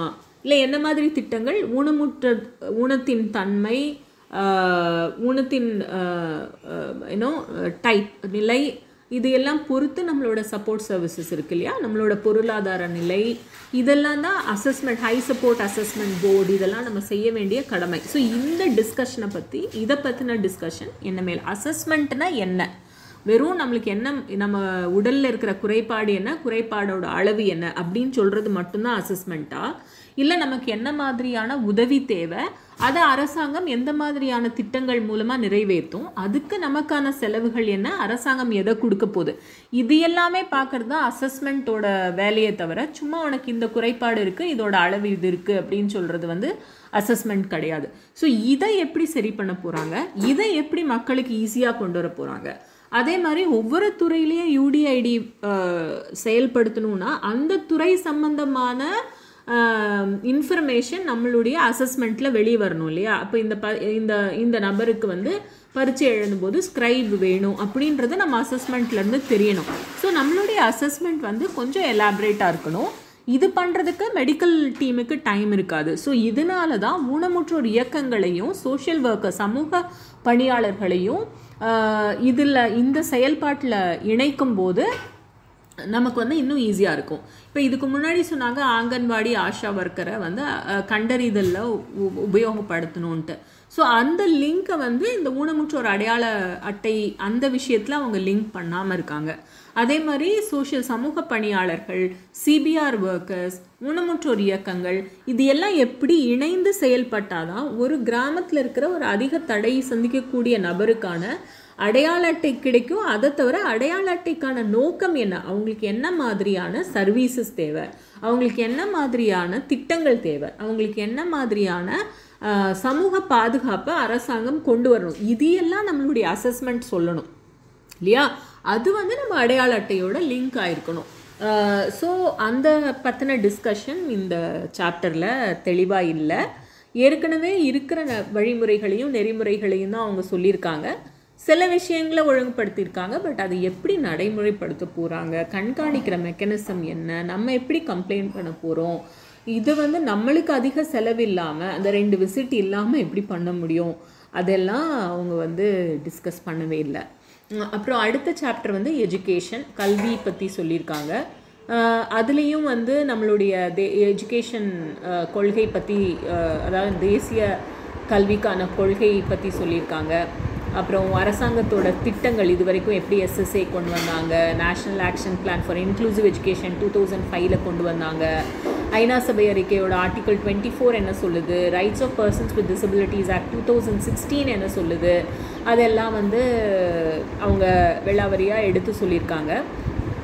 அதுக்கப்புறம் என்ன சொல்லியிருக்காங்கன்னா இந்த கொள்கை ஸோ ஊனமுற்றோருக்கான ரெண்டாயிரத்தி பதினாறாவது சட்டத்தை அமல் சட்டத்தில் கொடு கொடுத்துருக்கக்கூடிய கல்வி உரிமையை அமல்படுத்துறதுக்கு இந்த கொள்கை என்னெல்லாம் பண்ணும் அப்படின்னா மாநிலம் மற்றும் யூனியன் டெரிட்டரி அளவில் ஒரு ஒரு ப்ரொவிஷன் கொண்டு வரணுமா? என்ன சொல்லியிருக்காங்கன்னா ஒவ்வொரு எஜுகேஷ்னல் இன்ஸ்டியூஷன் கல்வி நிலையங்களும் ஒரு அவங்களோட பெர்மிஷன் அவங்கள நடைமுறை வருவதற்கு அவங்களோட ரெக்கக்னைஸ் பண்ணுறதுக்கு ப்ரொவிஷன் அதாவது ஊனமுற்றோர் சட்டத்தை நாங்கள் வந்து அமல்படுத்துவோம் அப்படின்ற அதுக்கான ஒரு கமிட்மெண்ட் கொடுத்தா மட்டும்தான் ரெக்கக்னைஸ் பண்ணணும்னு சொல்லியிருக்காங்க. அப்புறம் ஒவ்வொரு மாவட்டத்துலேயும் ஒரு நோடல் ஆஃபீஸர் அப்பாயிண்ட் பண்ணும். அட் சு கொ- ஊனமுற்ற குழந்தைகளை இன்க்ளூசிவ் எஜுகேஷனில் பாகுபாடு இல்லாமல் எப்படி அட்மிட் பண்ணணும் அப்படின்றத பற்றி கண்காணிக்கிறதுக்கான ஒரு கண்காணிப்பு அலுவலர் நியமிக்கணும் அப்படின்னு சொல்லியிருக்காங்க. அப்புறம் நிறையா குழந்தைகளால் வந்து ஊனம் ஒருங்கிணைந்த இன்க்ளூசிவ் எஜுகேஷனில் போய் படிக்க முடியாது. அவங்க வந்து ஸ்பெஷல் ஸ்கூல்ஸ்லேயோ இல்லை வீட்டிலிருந்தே கல்வி கற்கும் திட்டத்தின் மூலயமோ பயன்படுத்தலாம் அப்படின்னு சொல்லியிருக்காங்க. ஸோ யாரெல்லாம் இந்த நிறைய குழந்தைங்க ஏன் அவங்க வந்து நிறைய குழந்தைங்களால ஸ்கூலுக்கு போக முடியும் முடியாதுன்னு இந்த திட்டம் கொள்கை அசியூம் பண்ணுது அப்படின்றது நமக்கு தெரியல. இது ஒரு பெரிய பிரச்சனையாக நான் பார்க்குறேன். அதுக்கப்புறம் வந்து ஒவ்வொரு குழந்தையும் எந்த மாதிரியான கல்வி வெளிப்பாடு இருக்குது அதை மானிட்டர் பண்ணுறதுக்கான ஒரு வழிவகை சிஸ்டம் வந்து ஒவ்வொரு கல்வி நிலையங்கள்லையும் இருக்கணும்னு சொல்லியிருக்காங்க. அப்புறம் அரசாங்கம் வந்து ஸ்காலர்ஷிப் திட்டத்தை வலுப்படுத்தி அதை வந்து எல்லாருக்கும் நிறைய பேருக்கு கிடைக்கிற மாதிரி அதோட அவுட்ரீச்சை எப்படி இன்க்ரீஸ் பண்ணணும் அப்படின்றத பார்க்கணும் அப்படின்னு சொல்லியிருக்காங்க. அப்புறம் ஆக்சசிபிள் இ கண்டென்ட் அதாவது ஆன்லைன் கரிக்குலம் அதை வந்து எப்படி தடை அணுகுதலுக்கு தக் அணுகு அணுகக்கூடிய வித வித விதத்தில் கொண்டு வர போகிறாங்க அப்புறம் சைன் லாங்குவேஜ் வீடியோஸில் எப்படி கொண்டு வர கொண்டு வர போகிறாங்க இதெல்லாம் கொண்டு வரணும்னு சொல்லியிருக்காங்க. அப்புறம் எல்லா கல்வி நிலையங்கள்லேயும் வந்து அவங்களுடைய கட்டமைப்பு வந்து த அணுகு அண்டு அணுகுதற்கு உரியதாக இருக்கணும். அதாவது அவங்களுடைய லைப்ரரியாக இருக்கட்டும் கிளாஸ் ரூமாக இருக்கட்டும் டாய்லெட்ஸாக இருக்கட்டும் ஆடிட்டோரியமாக இருக்கட்டும் எல்லாமே அணுகத்தக்க வகையில் இருக்கணும்னு சொல்லியிருக்காங்க. அப்புறம் டிசபிலிட்டி ஸ்பெசிஃபிக் ஊனமுற்றோருக்கு ஆன ஒரு தனிப்பட்ட ஒரு கரிக்குலம் கொண்டு வந்து அதை அப்புறம் எப்படி இவாலுவேஷன் எப்படி அதை நம்ம வந்து இவாலுவேஷன் சிஸ்டமையும் கொண்டு வரணும் அப்படின்னு சொல்லியிருக்காங்க. அது எதுக்குன்றது தெரியல. அப்புறம் கல்வி சட்டத்தோட லிங்க் பண்ணியிருக்காங்க. ஸோ அது ஒரு நல்ல விஷயம். அப்புறம் ஸ்கூலில் வந்து எல்லா குழந்தைகளுக்கும் தேவையான ஊனமுற்றோர் குழந்தைகளுக்காக தேவையான சப்போர்ட் கொடுக்கணும். அதுக்கப்புறம் வந்து அவங்களுடைய இன்ஃபர்மேஷன் தகவல் பெறுவதற்கான தகவல் அவங்களுக்கு எப்படி இன்ஃபர்மேஷன் டெக்னாலஜி தகவல் துறை சம்மந்தமான விஷயங்கள் ஊனமுற்ற குழந்தைகளுக்கு அது வலுப்படுத்தணும்னு சொல்லியிருக்காங்க. அதுக்கப்புறம் டீச்சர்ஸ் ஆசிரியர்களுக்கான ட்ரைனிங் கொடுக்கணும் அப்படின்னு சொல்லியிருக்காங்க. அப்புறம் எல்லா அரசாங்கம் மற்றும் அரசாங்க கல்வி நிலையங்கள்லேயும் ஐந்து சதவீதம் இட ஒதுக்கீடு ஊனமுற்ற குழந்தைங்களுக்கு கொடுக்கணும்னு சொல்லியிருக்காங்க. அப்புறம் என்சிஆர்டி யூஜிசி அந்த மாதிரி ஏஐசிடிஇ எல்லா இடத்துலையும் உள்ள டீச்சர்ஸ் ட்ரைனிங் ஊனமுற்றோர் பற்றின ட்ரைனிங் இருக்கணும்னு சொல்லியிருக்காங்க. அப்புறம் சைன் லாங்குவேஜ் இன்டர்பிரிட்டேஷன் யூஸ் பண்ணணும்னு சொல்லியிருக்காங்க. அப்புறம் தனிப்பட்ட மற்றும் தேவையான பொருளாதார கல்வித்துறைக்கு ஆன பட்ஜெட்டில் ஊனம் இன்க்ளூஸ் இன்க்ளூசிவ் எஜுகேஷனுக்கான ஃபைனான்ஷியல் அலோகேஷன் இருக்கணும். அந்த அலோகேஷன்ஸ் எந்த மாதிரி விஷயங்களுக்கு யூஸ் பண்ணணும்னா நம்மளுக்கான உதவி உபகரணம் அப்புறம் அந்த learning tools smart phones laptops இந்த மாதிரி டிஜிட்டல் எஜுகேஷனுக்கு ஏ உதவி செய்கிற வகையில் அந்த பொருளாதாரத்தை யூஸ் பண்ணணும் அப்படின்னு சொல்லியிருக்காங்க. அப்புறம் government private sector community civil society எல்லாமே பார்ட்னர்ஷிப்பில் வேலை பார்த்து எல்லாருக்குமான இன்க்ளூசிவ் எஜுகேஷன் அனைவரும் உள்ளடங்கிய கூடிய ஒரு ஒருங்கிணைந்த கல்வி கான தளம் உருவாவதற்கு வேலை செய்யணும்னு சொல்லியிருக்காங்க. அதுக்கப்புறம் மாவட்ட மா இப்போ வந்து அதாவது இன்க்ளூசிவ் எஜுகேஷன் திட்டத்துக்கு உள்ளேயே வந்து சில குழந்தைங்களுக்கு அதாவது for example learning disabilities intellectual empowerment autism spectrum disorder இருக்கவங்களுக்கு அப்பப்போ வந்து வீட்டிலிருந்தே கல்வி கற்கக்கூடிய தேவை இருக்கலாம். ஸோ அதை எப்படி மாவட்ட அளவுலேயும் யூனியன் டெரிட்டரி அளவுலேயும் uh, ஒருங்கிணைக்கணும் அப்படின்றத பார்க்கணும்னு சொல்லியிருக்காங்க. அதுக்கப்புறம் இந்த uh, பாலிசியோட uh, கொள்கையோட தொலைநோக்கை நிறைவு பண்ணணும் அப்படின்னா இப்போ கல்வித்துறைக்கு கீழே ஒரு மெக்கானிசம் உருவாக்கணும் அப்படின்னு சொல்லியிருக்காங்க.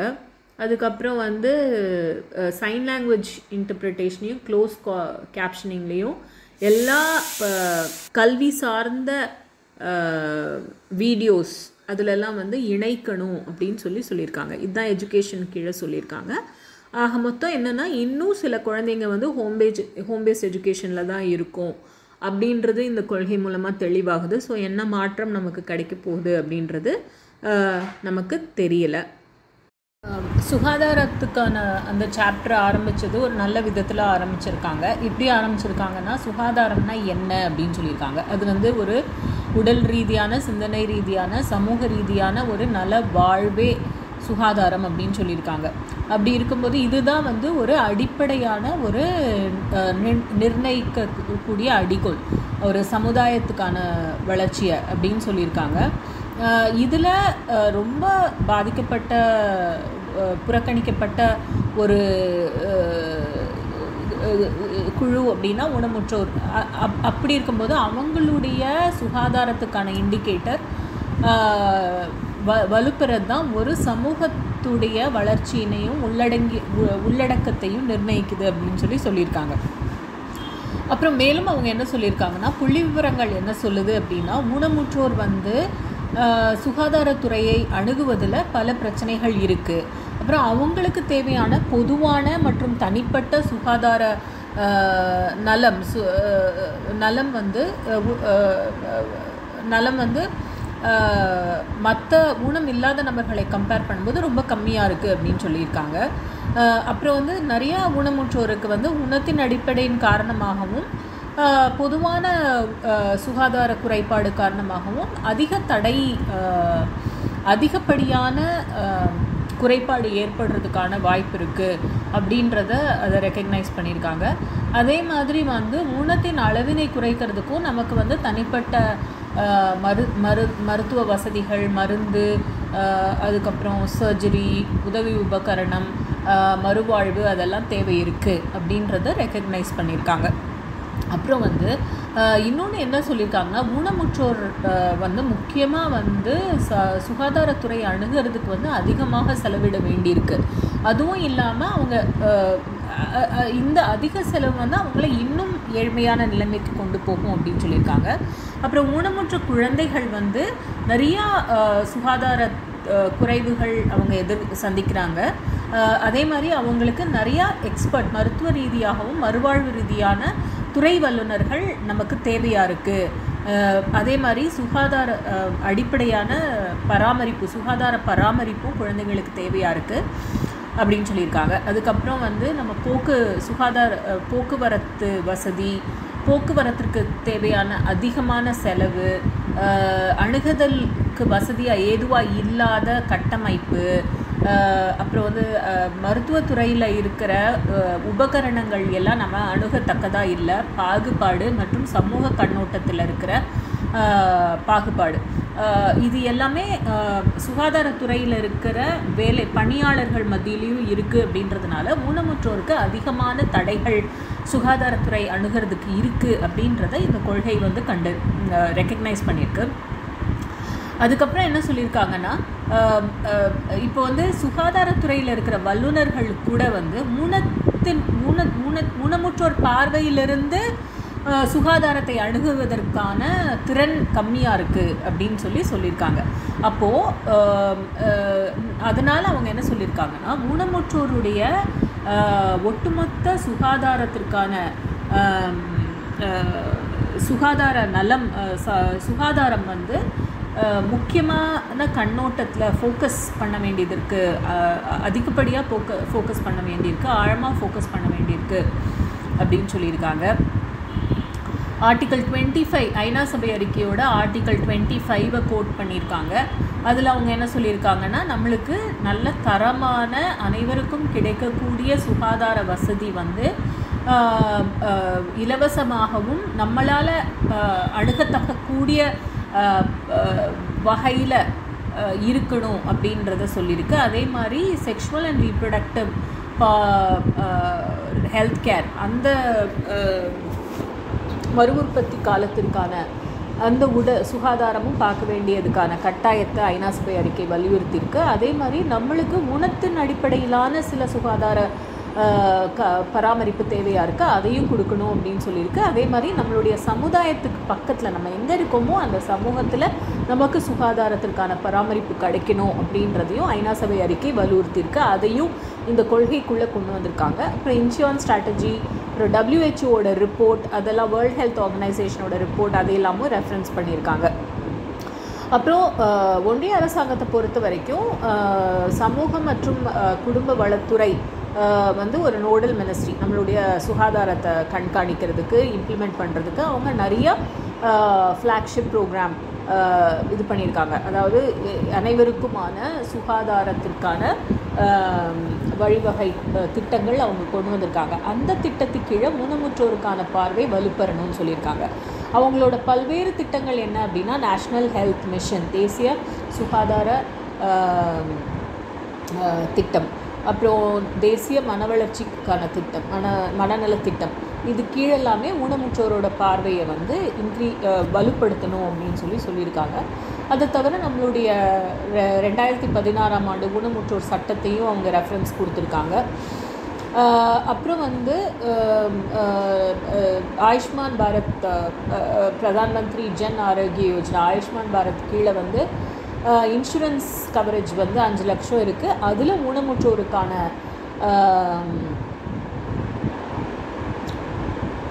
ஊனமுற்றோரையும் கொண்டு வரணும் அப்படின்னு சொல்லி சொல்லியிருக்காங்க. அதில் வந்து ஊனமுற்றோரின் பார்வை கம்மியாக இருக்குது அதை வலுப்படுத்தணும்னு சொல்லியிருக்காங்க. ஸோ இது எல்லாத்தையும் கணக்கில் வச்சு இந்த கொள்கை என்ன பண்ண போகுது அப்படின்றத இந்த section six section six point one point த்ரீல சொல்லியிருக்காங்க. என்ன சொல்லியிருக்காங்கன்னா ஊனமுற்றோருக்கான பொருளாதார நல சாரி ஊனமுற்றோருக்கான சுகாதாரம். அதை வந்து அணுகுது அணுகத்தக்கதாகவும் அணுகத்தக்கதாக எப்படி மாற்றுறது அப்படின்றது தான் முக்கியமான ஒரு விஷயமா ஒரு டார்கெட்டட் மிஷன் ஒரு டார்கெட்டட் ப்ரோக்ராம் கொண்டு வரணும்னு சொல்லியிருக்காங்க. அப்புறம் தேசிய சுகாதார திட்டத்தில் வந்து ஊனமுற்றோருடைய தேவைகளை கணக்கில் எடுத்துட்டு அதோட முக்கியமான ஒரு கூறாக சுகாதாரத்துறையோட கட்டமைப்பை வந்து வலுப்படுத்தி எது அளவு பிஹெச்சி அதாவது நம்மளுடைய ப்ரைமரி ஹெல்த் சென்டர் ஆரம்ப சுகாதார நிலையம் லெவலுக்கு அந்த அளவில் கூட வலுப்படுத்த வேண்டிய கட்டாயம் இருக்குது அங்கேயே வந்து நம்மளுடைய சுகாதாரம் மற்றும் மறுவாழ்வை கிடைக்கிறதுக்கான வழி செய்யணும். அதாவது டிஸ்ட்ரிக்ட் பிளாக் வில்லேஜ் லெவல்லையே நம்ம கிடைக்கணும் அப்படின்னு சொல்லி வ வலி வலு செய் உறுதி செய்கிற அளவுக்கு இந்த தேசிய சுகாதார திட்டத்தை வலுப்படுத்தணும் அப்படின்னு சொல்லியிருக்காங்க. அதே மாதிரி இந்த மினிஸ்ட்ரி வந்து சுகாதாரத்துறை அமைச்சகம் வந்து மாநில அளவு சுகாதார துறை அதிகாரிகளுக்கு ஊனமுற்றோர் சட்டத்தை பற்றின விழிப்புணர்வு கொடுக்கணும். அதே மாதிரி சுகாதாரத்துறை வந்து சமூக நலத்துறையோடு சேர்ந்து வேலை பார்க்கணும் அப்படின்னு சொல்லியிருக்காங்க. அதுக்கப்புறம் ஆயுஷ் அதாவது நம்மளுடைய நாட்டு மருந்து மற்ற வகையான மருத்துவம் இருக்கு இல்லையா? அந்த மருத்துவமும் வந்து ஊனமுற்றோருடைய ப சுகாதார மற்றும் பரா பராமரிப்பு மற்றும் ட்ரீட்மெண்ட்டுக்கான ஃபோக்கஸ் பண்ணணும்னு சொல்லியிருக்காங்க. அப்புறம் இந்த மெடிக்கல் கோர்ஸில் வந்து ஊனத்தை பற்றின ஒரு கரிக்குலம் ட்ரைனிங் மாடியூல் வைக்கணும் அப்படின்னு சொல்லியிருக்காங்க. அப்புறம் ப்ரைம் மினிஸ்டர்ஸோட இன்சூரன்ஸ் ப்ரோக்ராம் ஊனமுற்றோருடைய ஊனமுற்றோரையும் கவர் பண்ணும். அவங்களுடைய தனிப்பட்ட தேவையான மறுவாழ்வு தெரப்பியூட்டிக் சர்வீஸ் அதெல்லாமும் அந்த திட்டத்துக்கு கீழே உள்ளடக்கி கொண்டு வரணும் அப்படின்னு சொல்லியிருக்காங்க. அதே மாதிரி நேஷ்னல் தேசிய சுகாதார திட்டம் வந்து டிசபிலிட்டி ஸ்பெசிஃபிக் அதாவது ஊனத்தில் ஊனமுற்றோருக்கு தேவையாக இருக்கிற ஊனத்தின் காரணமாக தேவையாக இருக்கிற சுகாதார பராமரிப்பு தேவைகளையும் அது பூர்த்தி செய்யணும் அப்படின்னு சொல்லியிருக்காங்க. இப்போ பார்த்திங்கன்னா நிறைய ஊனமுற்றோருக்கு பிளட் டிஸார்டர் இந்த மாதிரி சுகாதார தின் அடிப்படையில் இருக்கிற ஊனமுற்றோருக்கு கூட அவங்களுடைய தனிப்பட்ட தேவையை இந்த ஹெல்த் ப்ரோக்ராம் திட்டத்தின் கீழே கொண்டு வரணும் அப்படின்னு சொல்லியிருக்காங்க. இது ஒரு நல்ல பரிந்துரையாக எனக்கு படுது அதே மாதிரி ஊனமுற்றோர் வந்து திட்டமிடுதல் மற்றும் அதை அமல்படுத்துதல் எந்த ஒரு சுகாதார திட்டங்களோட திட்டமிடுதல் ஸ்டேஜ்லேருந்து நம்ம வந்து அதில் நம்மளை இணை இணை நம்மளுடைய நம்மளை இன்வால்வ் பண்ணணும் அப்படின்னு சொல்லியிருக்காங்க. அதே மாதிரி ஊனத்தின் காரணமாக தேவை இருக்கக்கூடிய சுகாதார பராமரிப்பு இருக்கு இல்லையா? அதுக்கு நம்ம வந்து ஃபோக்கஸ் பண்ணணும். அப்படின்னு சொல்லி சொல்லியிருக்காங்க. இங்கேயும் ப்ரிவென்ஷனை பற்றி சொல்லியிருக்காங்க. அது ஒரு தவறான ஒரு இதாக நான் பார்க்குறேன் அதே மாதிரி யூடி ஹெல்த் கேர் இன்ஸ்டிடியூஷன்ஸ் வந்து யூடிஐடி ப்ராஜெக்டோட லிங்க் பண்ணணும் அப்படின்னு சொல்லியிருக்காங்க. ஸோ இதில் வந்து தேசிய அளவிலையும் மாநில அளவிலையும் சுகாதாரத்திற்கான என்னெல்லாம் திட்டங்களை ஊனமுற்றோர் ஆக்சஸ் பண்ணுறாங்களோ அந்த டீட்டெயில்ஸ் வந்து இந்த யூடிஐடி ப்ராஜெக்டோட லிங்க் பண்ணியிருக்கோம். லிங்க் ஆகும் அப்படின்றது தான் இதோட நோக்கமாக இருக்குது ஸோ இது எல்லாமே தான் சுகாதாரத்துக்கு கீழே சொல்லியிருக்காங்க. சுருக்கமாக என்னென்னா ஊனமுற்றோருக்கான சுகாதாரத்தை கான பார்வையை அரசாங்கத்தில் வலுப்படுத்தணும்னு சொல்லியிருக்காங்க. அரசாங்கத்தோட ஏற்கனவே இருக்கிற திட்டங்கள் ஊனமுற்றோர் உள்ளடக்கி இருக்கணும் செயல்படுத்தணும் அப்படின்னு சொல்லியிருக்காங்க. அப்புறம் நம்மளுடைய ஹெல்த் இன்சூரன்ஸ் வந்து ஊனமுற்றோருக்கான தனிப்பட்ட தேவையை உள்ளடக்கணும். அதாவது நம்மளுடைய பராமரிப்பு சாரி நம்மளோட பராமரிப்பு மற்றும் நம்மளுடைய மறுவாழ்வு ஊனத்தின் காரணமாக தேவை இருக்கக்கூடிய சுகாதாரத்துக்கான மருத்துவ மருத்துவங்கள் மெடிசன்ஸ் அந்த ப்ராடக்ட்ஸ் அப்புறம் அதெல்லாம் கூட உள்ளடக்கி இந்த திட்டம் இருக்கணும் அப்படின்னு சொல்லியிருக்காங்க. இதுதான் வந்து ஹெல்த்தில் சொல்லியிருக்காங்க. ஹெல்த்லேயும் நம்மளுடைய ப்ரிவென்ஷன் பற்றி பேசியிருக்காங்க விச் இஸ் பேட் அப்புறம் வந்து சாப்டர் செவன் அடுத்த சாப்டர் வந்து ஸ்கில் டெவலப்மெண்ட் அண்ட் எம்ப்ளாய்மெண்ட் வேலைவாய்ப்பு மற்றும் திறன் வளர்த்தல். இதில் அகேன் அவங்க வந்து ஐநா சபை அறிக்கையோட ஷரத்து இருபத்தி ஏழு ரெஃபரன்ஸ் கொண்டு வந்திருக்காங்க. நம்மளுடைய ஆர்பிடபிள்யூடி ஆக்டோட செக்ஷன் செக்ஷனையும் ரெஃபரன்ஸ் கொடுத்துருக்காங்க. அப்புறம் ஊனமுற்றோர் வந்து வேலைவாய்ப்பில் எந்த விதமான பாகுபாடு ஊனத்தின் அடிப்படையில் நடக்கக்கூடாது அப்படின்னு சொல்லியிருக்காங்க. அதே மாதிரி நம்மளோ ஒவ்வொரு நிறுவனமும் அவங்களோட ஈக்குவல் ஆப்பர்ச்சுனிட்டி பாலிசி எம்ப்ளாய்மெண்ட் பாலிசியை வந்து வெளியிடணும் அதை மெயின்டைன் பண்ணும் அப்படின்றத வலியுறுத்தியிருக்காங்க. அதுக்கப்புறம் அந்த சட்டத்தில் சொல்லியிருக்க நாலு பர்சன்ட் ரிசர்வேஷனை பற்றி மேற்கோள் காட்டியிருக்காங்க. இந்த மாதிரி எல்லா விஷயமான இதையும் இது பண்ணிட்டு சில தடைகள் நம்ம சந்திக்கிறோம் இல்லையா? அதாவது நம்மளுக்கு அடிப்படையாக குறைவான கல்வி அறிவு இருக்குது அதே மாதிரி டெய்லி நம்மளுக்கு சில நேரம் வந்து நம்ம வாழ்வாதாரத்திற்கான அந்த வாழ்வதற்கான திறன்கள் கம்மியாக இருக்குது நம்மளுக்கு கான்ஃபிடென்ஸ் கம்மியாக இருக்குது மாதிரி நிறைய பிரச்சனைகள் நம்மளோட பிரச்சனைகள் எல்லாம் எடுத்து சொல்லியிருக்காங்க. அதெல்லாம் மனசில் கொண்டு இந்த கொள்கை என்ன பண்ணும் அப்படின்னா இந்த ஃபாலோயிங் ஸ்டெப்ஸ் எடுக்கும் இந்த கீழ்கண்ட இந்த இந்த இதெல்லாம் பண்ணும் அப்படின்னு செவன் பாயிண்ட் நைனில் சொல்லியிருக்காங்க. அப்படின்னா என்னென்னா ஒரு நேஷ்னல் லெவல் எம்ப்ளாய்மெண்ட் போர்ட்டல் கொண்டு வர போகிறாங்களாம் எல்லா த எல்லா ஆக்சசிபிலிட்டி அணுகுத அணுகத்தக்க வசதியோடு கூடிய ஒரு போர்ட்டல் வெப் போர்ட்டல் கொண்டு வர போகிறாங்க அதில் வந்து திறன் வளர்த்திற்கான எல்லா வகையான குறிப்புகளும் அது இருக்கும். எந்தெந்த லொக்கேஷன்ஸ் எந்தெந்த இடத்துல வந்து திறன் வளர்க்கும் மையங்கள் இருக்குது அப்படின்றத அதை குறிப்பிட போகிறாங்க அதுக்கப்புறம் ஒவ்வொரு துறையிலையும் என்ன மாதிரியான வேலைவாய்ப்பு இருக்குது என்ன வேக்கன்சி இருக்குது அதுக்கு என்ன அடிப்படை தேவை இருக்குது அதை எப்படி அந்த வேலைவாய்ப்பு கொடுக்கக்கூடிய அந்த வழிமுறை என்ன அதுக்கான கவுன்சிலிங் சர்வீஸ் என்ன இது எல்லா டீட்டெயில்ஸோடையும் அந்த போர்ட்டல் வெப் போர்ட்டல் ஊனமுற்றோருக்காக கொண்டு வர கொண்டு வரணும் அப்படின்னு சொல்லியிருக்காங்க. அதுக்கப்புறம் ஒவ்வொரு அரசாங்கத்துறையும் தனியார் துறை நிறுவனங்களும் அவங்களுடைய வேக்கன்சியை லேபர் அண்ட் எம்ப்ளாய்மெண்ட் இந்த துறைக்கு அட்வர்டைஸ்மெண்ட்டில் கொடுக்கணும் அப்படின்னு சொல்லியிருக்காங்க. அப்புறம் இது வந்து ஒரு இணைய வழி எம்ப்ளாய்மெண்ட் எக்ஸ்சேஞ்சாக செயல்படும். அதே மாதிரி நம்மளுடைய ஊனமுற்றோருக்கான அடையாள அட்டை யூடிஐடி நம்பர் மூலமாக இதை அணுக முடியும் அப்படின்னு சொல்லியிருக்காங்க.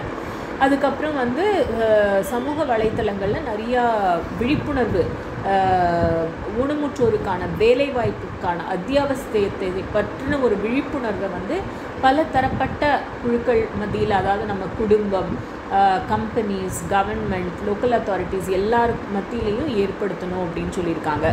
அதுக்கப்புறம் ஒன்றிய அரசாங்கம் வந்து ஒரு national action plan for skill development அதை லான்ச் பண்ணியிருந்தாங்க டுவெண்ட்டி தௌ டுவெண்ட்டி ஃபிஃப்டீன் சிக்ஸ்டீனில் அதை வந்து அது வந்து பெரிய அது பெரிய அளவில் டேக் ஆஃப் ஆகலை.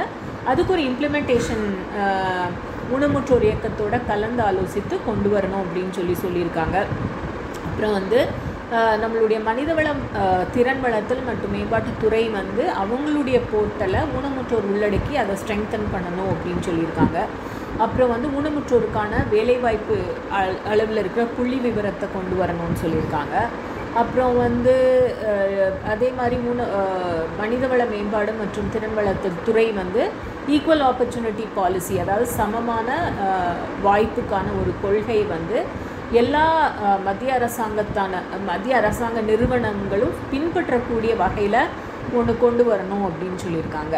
அதுக்கப்புறம் வந்து வேலை பார்க்கும் இடங்களில் நமக்கு அணுகத்தக்க வகையில் அந்த சுற்றுப்புற சூழல் இருக்கிறதுக்கு நமக்கு தேவையான டெக்னாலஜி உதவி உபகரணம் எல்லாமே அங்கே இருக்கணும் அப்படின்னு சொல்லியிருக்காங்க. இந்த இந்த துறை அதாவது மனிதவள மேம்பாடு மற்றும் திறன் வளர்த்தல் துறை வந்து இது இந்த வசதிகள் கொடுக்கறதுக்கான எல்லா முயற்சிகளையும் எடுக்கணும்னு சொல்லியிருக்காங்க. சில நேரம் நமக்கு ஸ்பெஷல் லீவ் தேவையாக இருக்கலாம் ப்ரிஃபரன்ஷியல் போஸ்டிங் தேவையாக இருக்கலாம். அதே மாதிரி உதவி உபகரணம் நம்ம வேலை பணியிடத்தில் நம்மளுடைய வேலையை வேலைக்கான எஃபிஷியன்சி அதாவது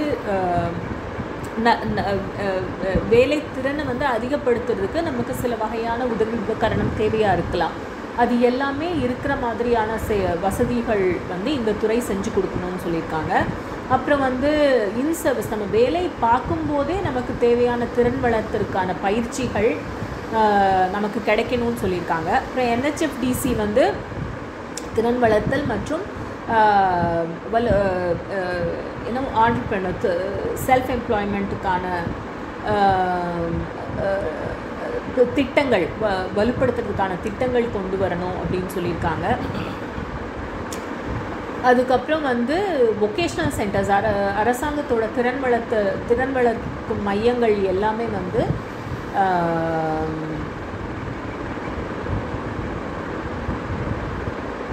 ஊனமுற்றோருக்கு திறன் வளர்த்தல் இது பண்ணணும். அதுக்கப்புறம் அங்கே இருக்கிற ட்ரெயினர்ஸோட கெப்பாசிட்டியையும் வளர்க்கணும் அப்படின்னு சொல்லியிருக்காங்க. சிறு துறை இருக்கு இல்லையா?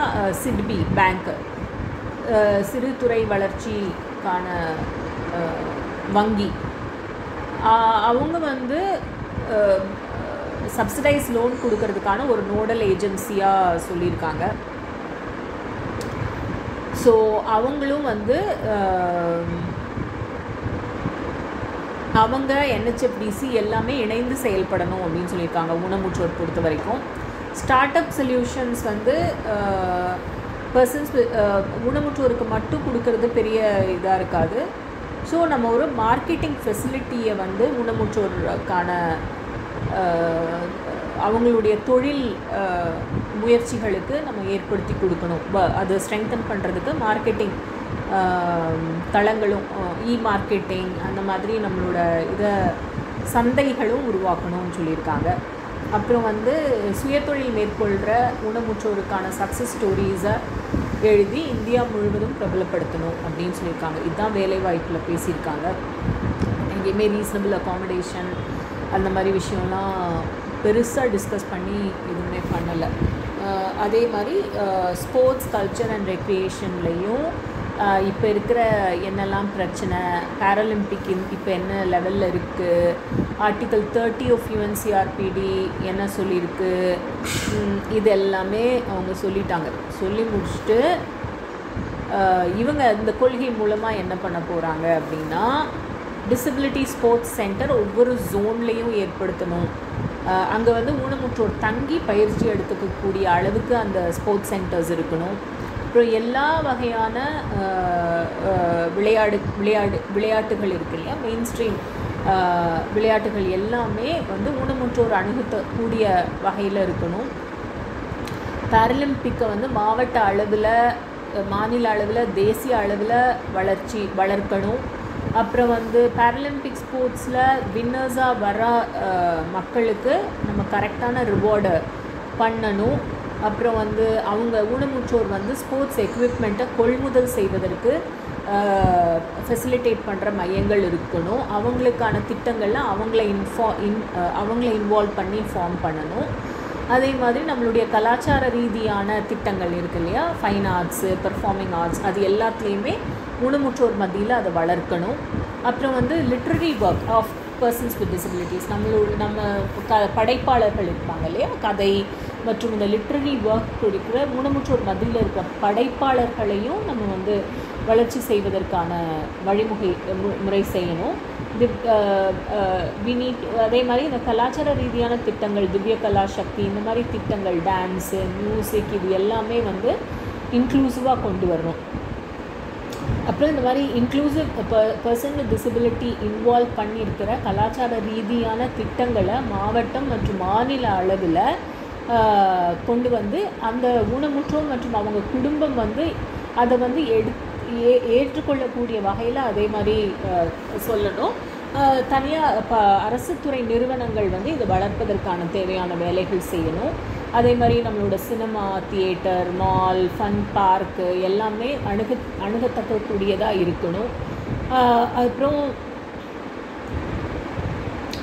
கவர்மெண்ட் டாக்குமெண்ட்ரி அரசாங்க திட்டங்களை வந்து வலியுறுத்தி நிறையா டாக்குமெண்ட்ரி இதெல்லாம் கொண்டு வரணும் அப்படின்னு சொல்லி இனிஷியேட்டிவ்ஸ்லாம் கொண்டு வரணும் அப்படின்னு சொல்லி சொல்லியிருக்காங்க. பட் எப்படி பண்ண போகிறாங்க என்ன பிரச்சனை இருக்குது இது எல்லாமே நம்ம கேட்குற ஒரு டிமாண்ட் மாதிரி இருக்கே தவிர அரசாங்கம் வந்து இதை நெ வழிமுறைப்படுத்துறதுக்கு என்ன பண்ண போகிறாங்க அப்படின்றத இதில் எல்லாம் கொண்டு வரணும் கொண்டு வரணும்னு சொன்னால் இதுக்கான எ- எந்த ஒரு விஷயத்துலையுமே இண்டிகேட்டர்ஸ் இல்லை. இப்போ ஃபஸ்ட்டு டூ இயர்ஸில் இது பண்ண போகிறோம் செகண்ட் இயரில் என்ன பண்ண போகிறோம் ஃபிஃப்த் இயரில் இதெல்லாம் நடக்கும். ஸோ இதெல்லாம் நடக்கிறதுக்கு இதுக்குள்ளே என்னெல்லாம் கொள்கைகள் கொண்டு வரணும்? என்ன மாதிரியான திட்டங்கள் கொண்டு வரலாம்? இந்த என்ன திட்டம் கொண்டு வந்திருக்கோன்றத எப்படி ரிப்போர்ட் பண்ண போகிறோம் இதுக்கான அமல் ஆக இன்ஸ்டிடியூஷன் மெக்கானிசம் என்ன? அரசாங்க துறை என்ன? அதை எப்படி கண்காணிக்க போகிறாங்க இது வந்து பார்த்திங்கன்னா இப்போ எஜுகேஷனில் வந்து ஒரு நோடல் ஆஃபீஸர் கொடுக்கணும்னு சொல்லியிருக்காங்க.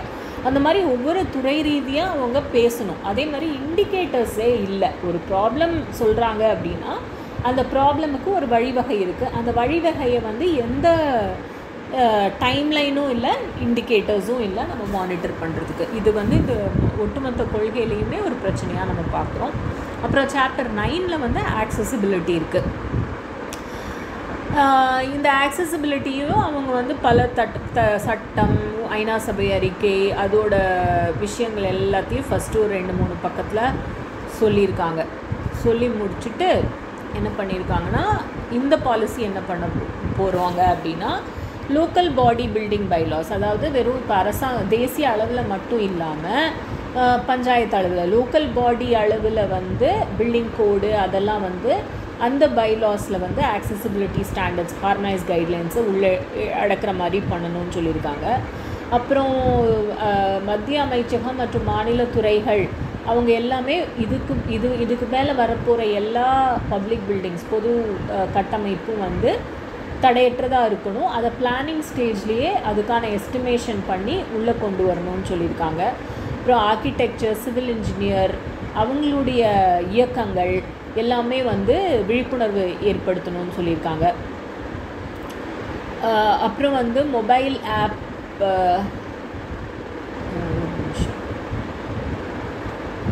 அப்புறம் மா மாநிலம் மற்றும் யூனியன் டெரிட்டரியில் எல்லா பில்டிங்ஸையும் இந்த டயத்துக்குள்ளே ஆக்சசிபிள் ஆகணும்னு சொல்லியிருக்காங்க. பேசஞ்சர் பஸ்ஸஸில் எல்லா ஆக்சசிபிலிட்டி ஃபீச்சர்ஸ் கொண்டு வரணும். ஏற்கனவே நடை இருக்கிற பஸ்ஸஸ்லையும் ஃபேஸ்ட் மேனரில் டைம் பவுண்ட் மேனரில் தடையற்ற சூழல் கொண்டு வரணும்னு சொல்லியிருக்காங்க. அப்புறம் வந்து பேசஞ்சர் கார் கொண்டு வரணும் கேப் ஃபெசிலிட்டிஸ் கொண்டு வரணும் அந்த மாதிரியான டிரைவர்ஸ்க்கெல்லாம் சென்சிட்டைசேஷன் பண்ணணும். அப்புறம் railways metro coaches platforms and train and பிளாட்ஃபார்ம்ஸில் இருக்கிற சர்வீசஸ் எல்லாமே ஊனமுற்றோருக்கு டைம் பவுண்ட் மேனரில் ஆக்சசிபிளாக ஆக்கணும்னு சொல்லியிருக்காங்க. ஏர்போர்ட்ஸ்லேயும் அதே மாதிரி சொல்லியிருக்காங்க. ஷிப்ஸ்லேயும் அதே மாதிரி சொல்லியிருக்காங்க. வெப்சைட்ஸ்லேயும் அதே மாதிரி சொல்லியிருக்காங்க. மொபைல் ஆப் எல்லா mobile app that is use by the general public has to be has to comply with access அதாவது தட அணுகுதல் கூடிய அந்த ஸ்டாண்டர்ட்ஸோடு தான் அது வரணும். டிவி கண்டென்ட்டு மூவிஸு படம் வீடியோ எல்லாமே வந்து கேப்ஷனிங் ஃபெசிலிட்டியோடு இருக்கணும்னு சொல்லியிருக்காங்க. இன்ஃபர்மேஷன் அண்ட் ப்ராட்காஸ்டிங் அமைச்சகம் வந்து இது குறித்து ஒரு கைட்லைன்ஸ் கொண்டு வருவாங்க அப்படின்னு சொல்லியிருக்காங்க. அப்புறம் real estate regulating authorities TRAI அதாவது டெலிகாம் ரெகுலேட்டரி அத்தாரிட்டி இவங்க எல்லாமே வந்து இந்த கம்ப்ளைன்ஸ் அதாவது தடை அணுகுத அணுகத்தக்கக்கூடிய வசதிகள் கான ஸ்டாண்டர்ட்ஸ் வரைமுறைகளை பின்பற்றணும் அப்படின்னு சொல்லியிருக்காங்க. அப்புறம் த- இந்த தனிப்பட்ட நம்ம தனிப்பட்ட முறையில் நம்மளுடைய வண்டிகள் இருக்கு இல்லையா? அதையும் வந்து நெசசரி கைட்லைன்ஸ் மாடிஃபிகேஷனுக்கு தேவையான கைட்லைன்ஸ் கொண்டு வரணும். அப்புறம் எல்லா மீட்டிங்ஸு துறை வாரியாக நடத்துகிற எல்லா துறை எல்லா அமைச்சகம் நடத்துகிற மீட்டிங்ஸ் எல்லாத்துலேயுமே சைன் லாங்குவேஜ் இன்டர்பிரிட்டேஷன் இருக்கணும்னு சொல்லியிருக்காங்க. இவ்வளோ தான் ஆக்சசிபிலிட்டி சொல்லியிருக்காங்க. கொஞ்சம் டீட்டெயில் அவுட் பண்ணியிருக்காங்க. ஃப்ரம் தி லா சொன்னதுலேருந்து இதில் கொஞ்சம் டீட்டெயில்ஸ் பண்ணியிருக்காங்க. பட் திருப்பி திருப்பி டைம் பவுண்டுனா வாட் இஸ் த டைம் அந்த லாவில் அஞ்சு வருஷம் சொல்லிட்டாங்க. சட்டம் வந்து அஞ்சு வருஷம் முடிஞ்சிருச்சு. இதுக்கு மேலே என்ன டைம் பவுண்டு அப்போ இப்போ வந்து இந்த அமைச்சகம் வந்து கைட்லைன் கொண்டு வரணும்னா அந்த கைட்லைன் எவ்வளோ நாளைக்குள்ளே கொண்டு வருவாங்க? அதுக்கான வேலையை எப்போ ஆரம்பிக்க போகிறாங்க அதை பற்றின டீட்டெயில்ஸ் இதில் இல்லை. அப்புறம் சாப்டர் டென் வந்து டிசாஸ்டர் மேனேஜ்மெண்ட் அதாவது பேரிடர் கால மேலாண்மை. இதுலேயும் ஊனமுற்றோர் அதிகமாக பாதிக்கப்படுறாங்க அப்படின்றத சொல்லியிருக்காங்க. எப்படி பாதிக்கப்பட்டிருக்காங்கன்றதுக்கு சில எக்ஸாம்பிள்ஸ் எல்லாம் வந்து அவங்க சொல்லியிருக்காங்க. சொல்லிட்டு அதுக்கப்புறமா வந்து இதில் வந்து ரெஃபரன்ஸ் என்ன பண்ணலை அப்படின்னா Incheon strategy Sendai framework sustainable development goals இதை பற்றியெல்லாம் அவங்க சொல்லியிருக்காங்க. ஆனால் நம்ம டாக்கா கான்ஃபரன்ஸ் பற்றி சொல்லியிருக்காங்க. இந்தியாலேயும் வந்து national disaster management act two thousand ஃபைவ்ல வந்திருக்கு. பட் இப்போ வந்து ரீசெண்டாக கைட்லைன் வந்திருக்கு. நேஷ்னல் டிசாஸ்டர் மேனேஜ்மெண்ட் வந்து disability inclusive disaster risk reduction கொண்டு வந்திருக்காங்க. அதில் ஸ்ட்ராட்டஜிஸ் கொண்டு வந்திருக்காங்க. அதையும் ரெஃபரன்ஸ் கொடுத்துருக்காங்க. அப்போது இந்த பாலிசி என்ன பண்ண போகுது அப்படின்னா இப்போது நம்மளை ஒரு ஃபஸ்ட்டு வந்து சாதாரண டைம்லையே வந்து நம்ம வந்து எப்படி வே பலதரப்பட்ட அங்கத்தினர் இருக்காங்க இல்லையா? ஸ்டேக் ஹோல்டர்ஸ் இருக்காங்கல்ல அவங்களுக்குள்ள ஒரு கோஆர்டினேஷன் க்ரியேட் பண்ணணும். அப்புறம் வந்து லோக்கல் லெவல் அதி அத்தாரிட்டிஸ் அதாவது நம் கீழ் நிலை நம்ம மக்கள் மதியில் இருக்கிற அந்த அதிகாரிகள் ஊனமுற்றோருடைய தனிப்பட்ட தேவைகள் என்ன? அவங்கள வந்து பேரிடர் காலத்தில் எப்படி அவங்கள வந்து நம்ம அணுகணும்? அவங்களுக்கான உதவிகளை எப்படி செய்யணும்? அப்படின்றதுக்கான விழிப்புணர்வு பண்ணணும்னு சொல்லியிருக்காங்க. அப்புறம் இதில் நம்ம மாநில அதிகாரி கமிஷனர் இருக்கார் இல்லையா? ஆணையர். அவர் டிஸ்ட்ரிக்ட் லெவல் அத்தாரிட்டி அவங்க எல்லாம் வந்து ஊனமுற்றோர் பார்த்தோன்னா புள்ளி விவரம் வச்சுருக்கணும். அதே மாதிரி ஊனமுற்றோர் அசோசியேஷன் நம்மளுடைய ஓபிடி பற்றினது வாலண்ட்ரி என்ஜிஓ பற்றினது அதுக்கப்புறம் பேரிடர் காலத்தில் நமக்கு என்ன மாதிரியான உணவு தேவையாக இருக்கும் மருத்துவ வசதி தேவையாக இருக்கும் மருந்துகள் தேவையாக இருக்கும் இதை பற்றின புள்ளி விவரங்களை இவங்க மெயின்டைன் பண்ணும் அப்படின்னு சொல்லி சொல்லியிருக்காங்க. அதே மாதிரி பேரிடர் மேலாண்மையை திட்டமிட்டு அமல்படுத்தி அதை கண்காணிக்கிற ஒவ்வொரு நிலையிலையும் ஊனமற்றோரை எப்படி உள்ள அடைக்கிறது அப்படின்றத சொல்லணும். அதே மாதிரி ஃபோக்கல் பாயிண்ட் அதாவது ஒரு முக்கியமான அதிகாரி ஒவ்வொரு மாநில அளவுலையும் ஊனமுற்றோர் மத்தியில் வேலை செய்கிற ஒரு நிறுவனங்கள் அங்கே அந்த ஃபோக்கல் பாயிண்ட்டாக ஓட அந்த நேஷ்னல் டிசாஸ்டர் மேனேஜ்மெண்ட் அத்தாரிட்டியோட அந்த ஒரு அதிகாரியோடு சேர்ந்து செயல்படணும்னு சொல்லியிருக்காங்க. அதே மாதிரி நம்மளுடைய புள்ளி விவரம் அதாவது ஊனத்தின் தன்மை வயது பாலினம் போன்ற புள்ளி விவரங்களோட மாவட்ட அளவில் நம்மளுக்கான புள்ளி விவரம் இருக்கணும் அப்படின்னு சொல்லி சொல்லியிருக்காங்க. அப்புறம் இதுக்கான அதிகாரிகளோட ட்ரைனிங் அப்புறம் வந்து டிசாஸ் பேரிடர் காலத்தில் ஊனமுற்றோருக்கு எப்படி உதவி செய்யணும் அதுக்கப்புறம் அவங்களுக்கு எப்படி ரிலீஃப் பண்ணணும் சமூக பாதுகாப்பு அளிக்கணும் அதுக்கு என்ன ஃபண்டு அந்த ஃபண்டு மேனேஜ்மெண்ட் என்ன அதையும் வந்து திட்டமிடணும் அப்படின்னு சொல்லி இது கீழே கொண்டு வந்திருக்காங்க. ஆனால் என்ன பண்ணல அப்படின்னா ஸ்பெசிஃபிக்காக இப்போ வந்து நம்ம பேரிடர் காலத்தில் ஒரு கட்டமைப்பு வசதி யூஸ் பண்ணுவோம். அப்போ அந்த கட்டமைப்பு வந்து தடையற்றதாக இருக்கிறதுக்கு என்ன மாதிரியான வழிவகை பண்ணணும்? அதே மாதிரி உதவி உபகரணம். நம்மளை பற்றின புள்ளி விவரம் மருத்துவ வசதி உணவு மட்டும் தேவையாக இருந்தால் போதுமா? பேரிடர் காலத்தில் நம்மளுடைய உதவி உபகரணங்கள்லாம் நம்மளை விட்டுட்டு போயிடலாம். யூஸ் இல்லாமல் இருக்கலாம். அதை எப்படி அனௌன்ஸ் பண்ணுவாங்க? ஸோ அந்த நேஷ்னல் டிசாஸ்டர் மே மேனேஜ்மெண்ட் கைட்லைன் இருக்கு இல்லையா? டிசபிலிட்டி கைட்லைன் அதோட இந்த கொள்கையை எப்படி இணைக்க போகிறாங்க அந்த டிஸ்கஷன் இதில் இல்லை. அதே மாதிரி சமூக பாதுகாப்பை ஃபுல்லாக ஃபுல்லாக அதுவும் அவங்க வந்து ஐஎல்ஓவோட இதை பற்றி சொல்லியிருக்காங்க. ஐநா சபை அறிக்கையை பற்றி சொல்லியிருக்காங்க. நம்மளுடைய அரசியல் அமைப்பை பற்றி சொல்லியிருக்காங்க. எல்லாமே சொன்னால் கூட ஐநா சபை அறிக்கை எவ்வளோ டீட்டெயில்டாக சமூக பாதுகாப்பை பற்றி சொல்லியிருந்தா கூட இவங்க வந்து என்ன சொல்லிட்டாங்க? இது மொத்தமாக வந்து யூனியன் ஸ்டேட்டோட ரெஸ்பான்சிபிலிட்டி அப்படின்னு சொல்லிட்டாங்க. சொல்லிவிட்டு கொஞ்சோண்டு விஷயத்தை மட்டும் சமூக பாதுகாப்பில் சொல்லிட்டாங்க. அதாவது என்னென்னா மாநில அரசாங்கத்தை தேவையான தகுந்த சமூக பாதுகாப்பு திட் கொள்கைகள் வரையறைக்க சொல்லுவாங்களாம். அதுக்கப்புறம் ஊனமுற்றோர் எக்ஸிஸ்டிங் பென்ஷன் ஸ்கீமில் எல்லா வகையான ஊனமுற்றோரையும் உள்ளடக்கணும் அப்படின்னு சொல்லியிருக்காங்க. அதே மாதிரி உணவு பாதுகாப்பு திட்டங்களில் ஊனமுற்றோரை உள்ளடக்கணும். அப்புறம் கம்யூனிட்டி சென்டர்ஸ் வந்து ஆக்சசிபிளாக இருக்கணும். நம்மளுக்கு ஒரு இன்சூரன்ஸ் கவரேஜ் அதாவது சுகாதாரம் மற்றும் வாழ்க்கை கவர் பண்ணக்கூடிய இன்சூரன்ஸ் திட்டம் எந்த பாகுபாடு இல்லாமல் இருக்கணும்னு சொல்லியிருக்காங்க. இது ஒரு நல்ல விஷயம். அதுக்கப்புறம் என்ன சொல்லியிருக்காங்க நமக்கு தேவையான care giver allowance support services high support needs இருக்கிறவங்களுக்கு இருக்கணும்னு சொல்லியிருக்காங்க. கார்டியன்ஷிப் சர்வீசஸும் இருக்கணும்னு சொல்லியிருக்காங்க. வேலை வாய்ப்பு தரமான வேலை வாய்ப்பு கிடைக்கணும்னு சொல்லியிருக்காங்க. அ- அடிப் ப்ரோக்ராமை மட்டும் அசிஸ்டிவ் டிவைஸ்க்கு அதை வலுப்படுத்தணும்னு சொல்லியிருக்காங்க. ஸோ இந்த ப்ரோக்ராம் ஏற்கனவே ஒரு வருஷத்துக்கு ரெண்டு லட்சம் பேர் மூணு லட்சம் பேர் தான் போய் சேருது. அப்படி இருக்கும்போது இதே ஒரே ஒரு திட்டத்தை வலுப்படுத்துறதுனால எல்லா ஊனமுற்றோருக்கும் அவங்களுக்கு தேவையான உதவி உபகரணம் கிடைக்குமா அப்படின்றது நமக்கு தெரியாது. அதே மாதிரி நம்மளுடைய பென்ஷன் திட்டம் வந்து நமக்கு ரொம்ப கம்மியான காம்பன்சேஷன் தான் கொடுக்குது. நமக்கு அது இன்கம் செக்யூரிட்டி கிடையாது.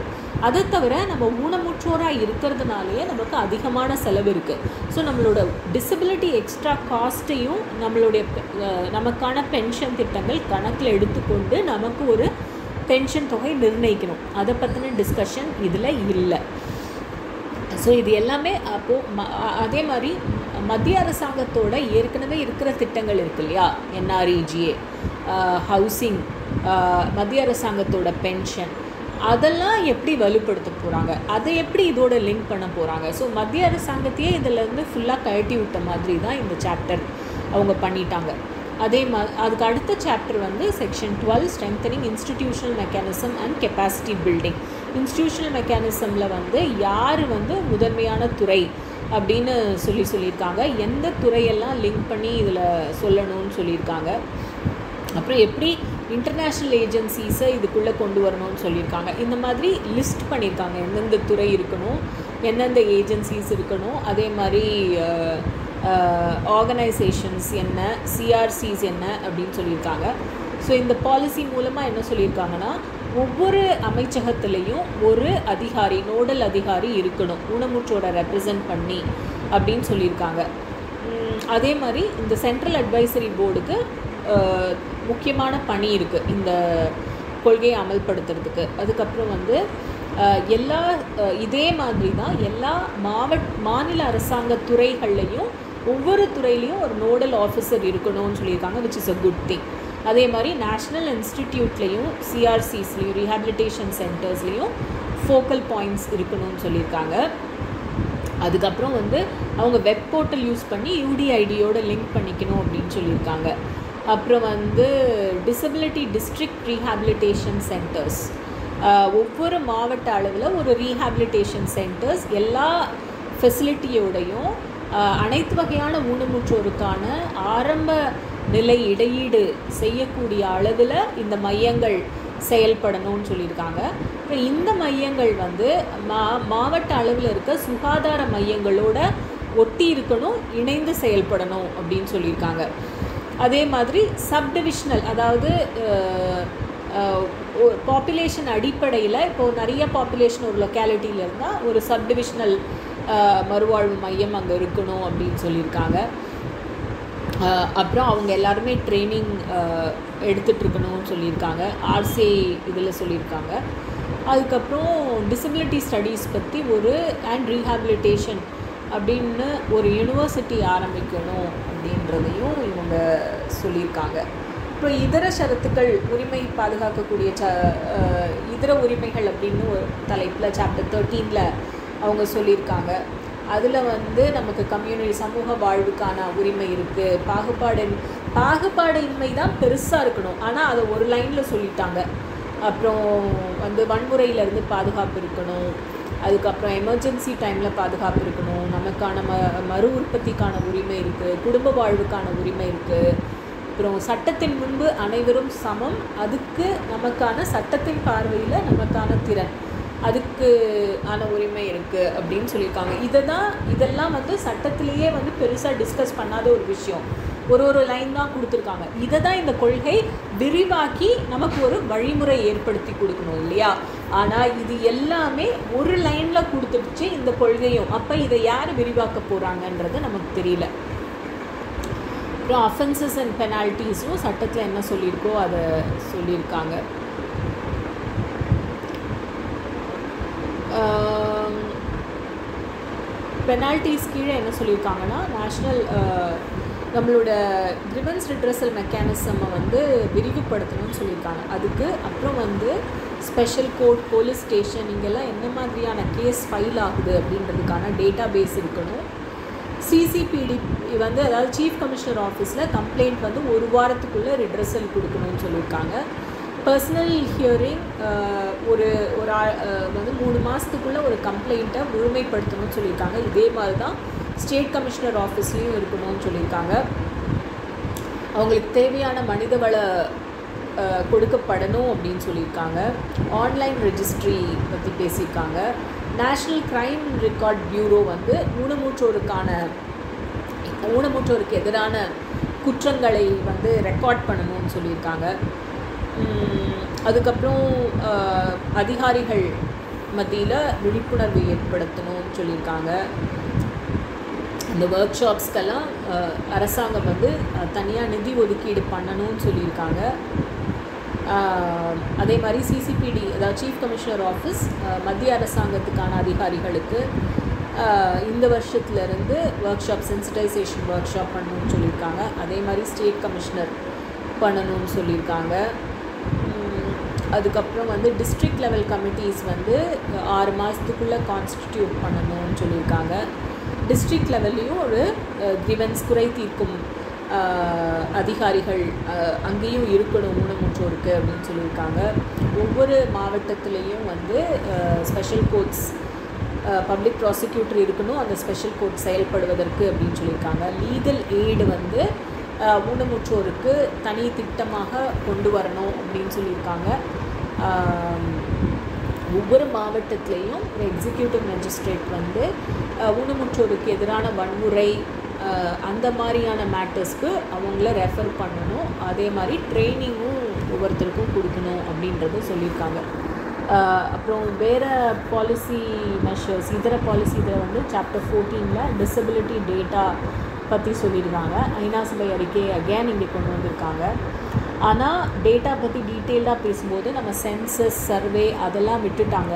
வெறும் அட்மினிஸ்ட்ரேட்டிவ் டேட்டா மட்டும் பேசுகிறாங்க அதில் ஹியூஜ் ரிலையன்ஸ் ஆன் யூடிஐடியில் தான் மெயினாக டேட்டா ஜெனரேட் பண்ணுற ஒரு தளமாக யூடிஐடியை பார்க்குறாங்க இது வந்து ரொம்ப ஒரு தப்பான விஷயம் பிகாஸ் சம்டைம்ஸ் என்ன ஆகும்னா எஜுகேஷ்னல் இன்ஸ்டியூஷன் யூடிஐடியோட லிங்க் பண்ண அப்படின்னா இப்போ நான் ஒரு ஊனமுற்ற குழந்தைய அட்மிட் பண்ணணுனாலே ஆதார் மாதிரி யூடிஐடி இருந்தால் தான் அட்மிஷன் கேட்பாங்க.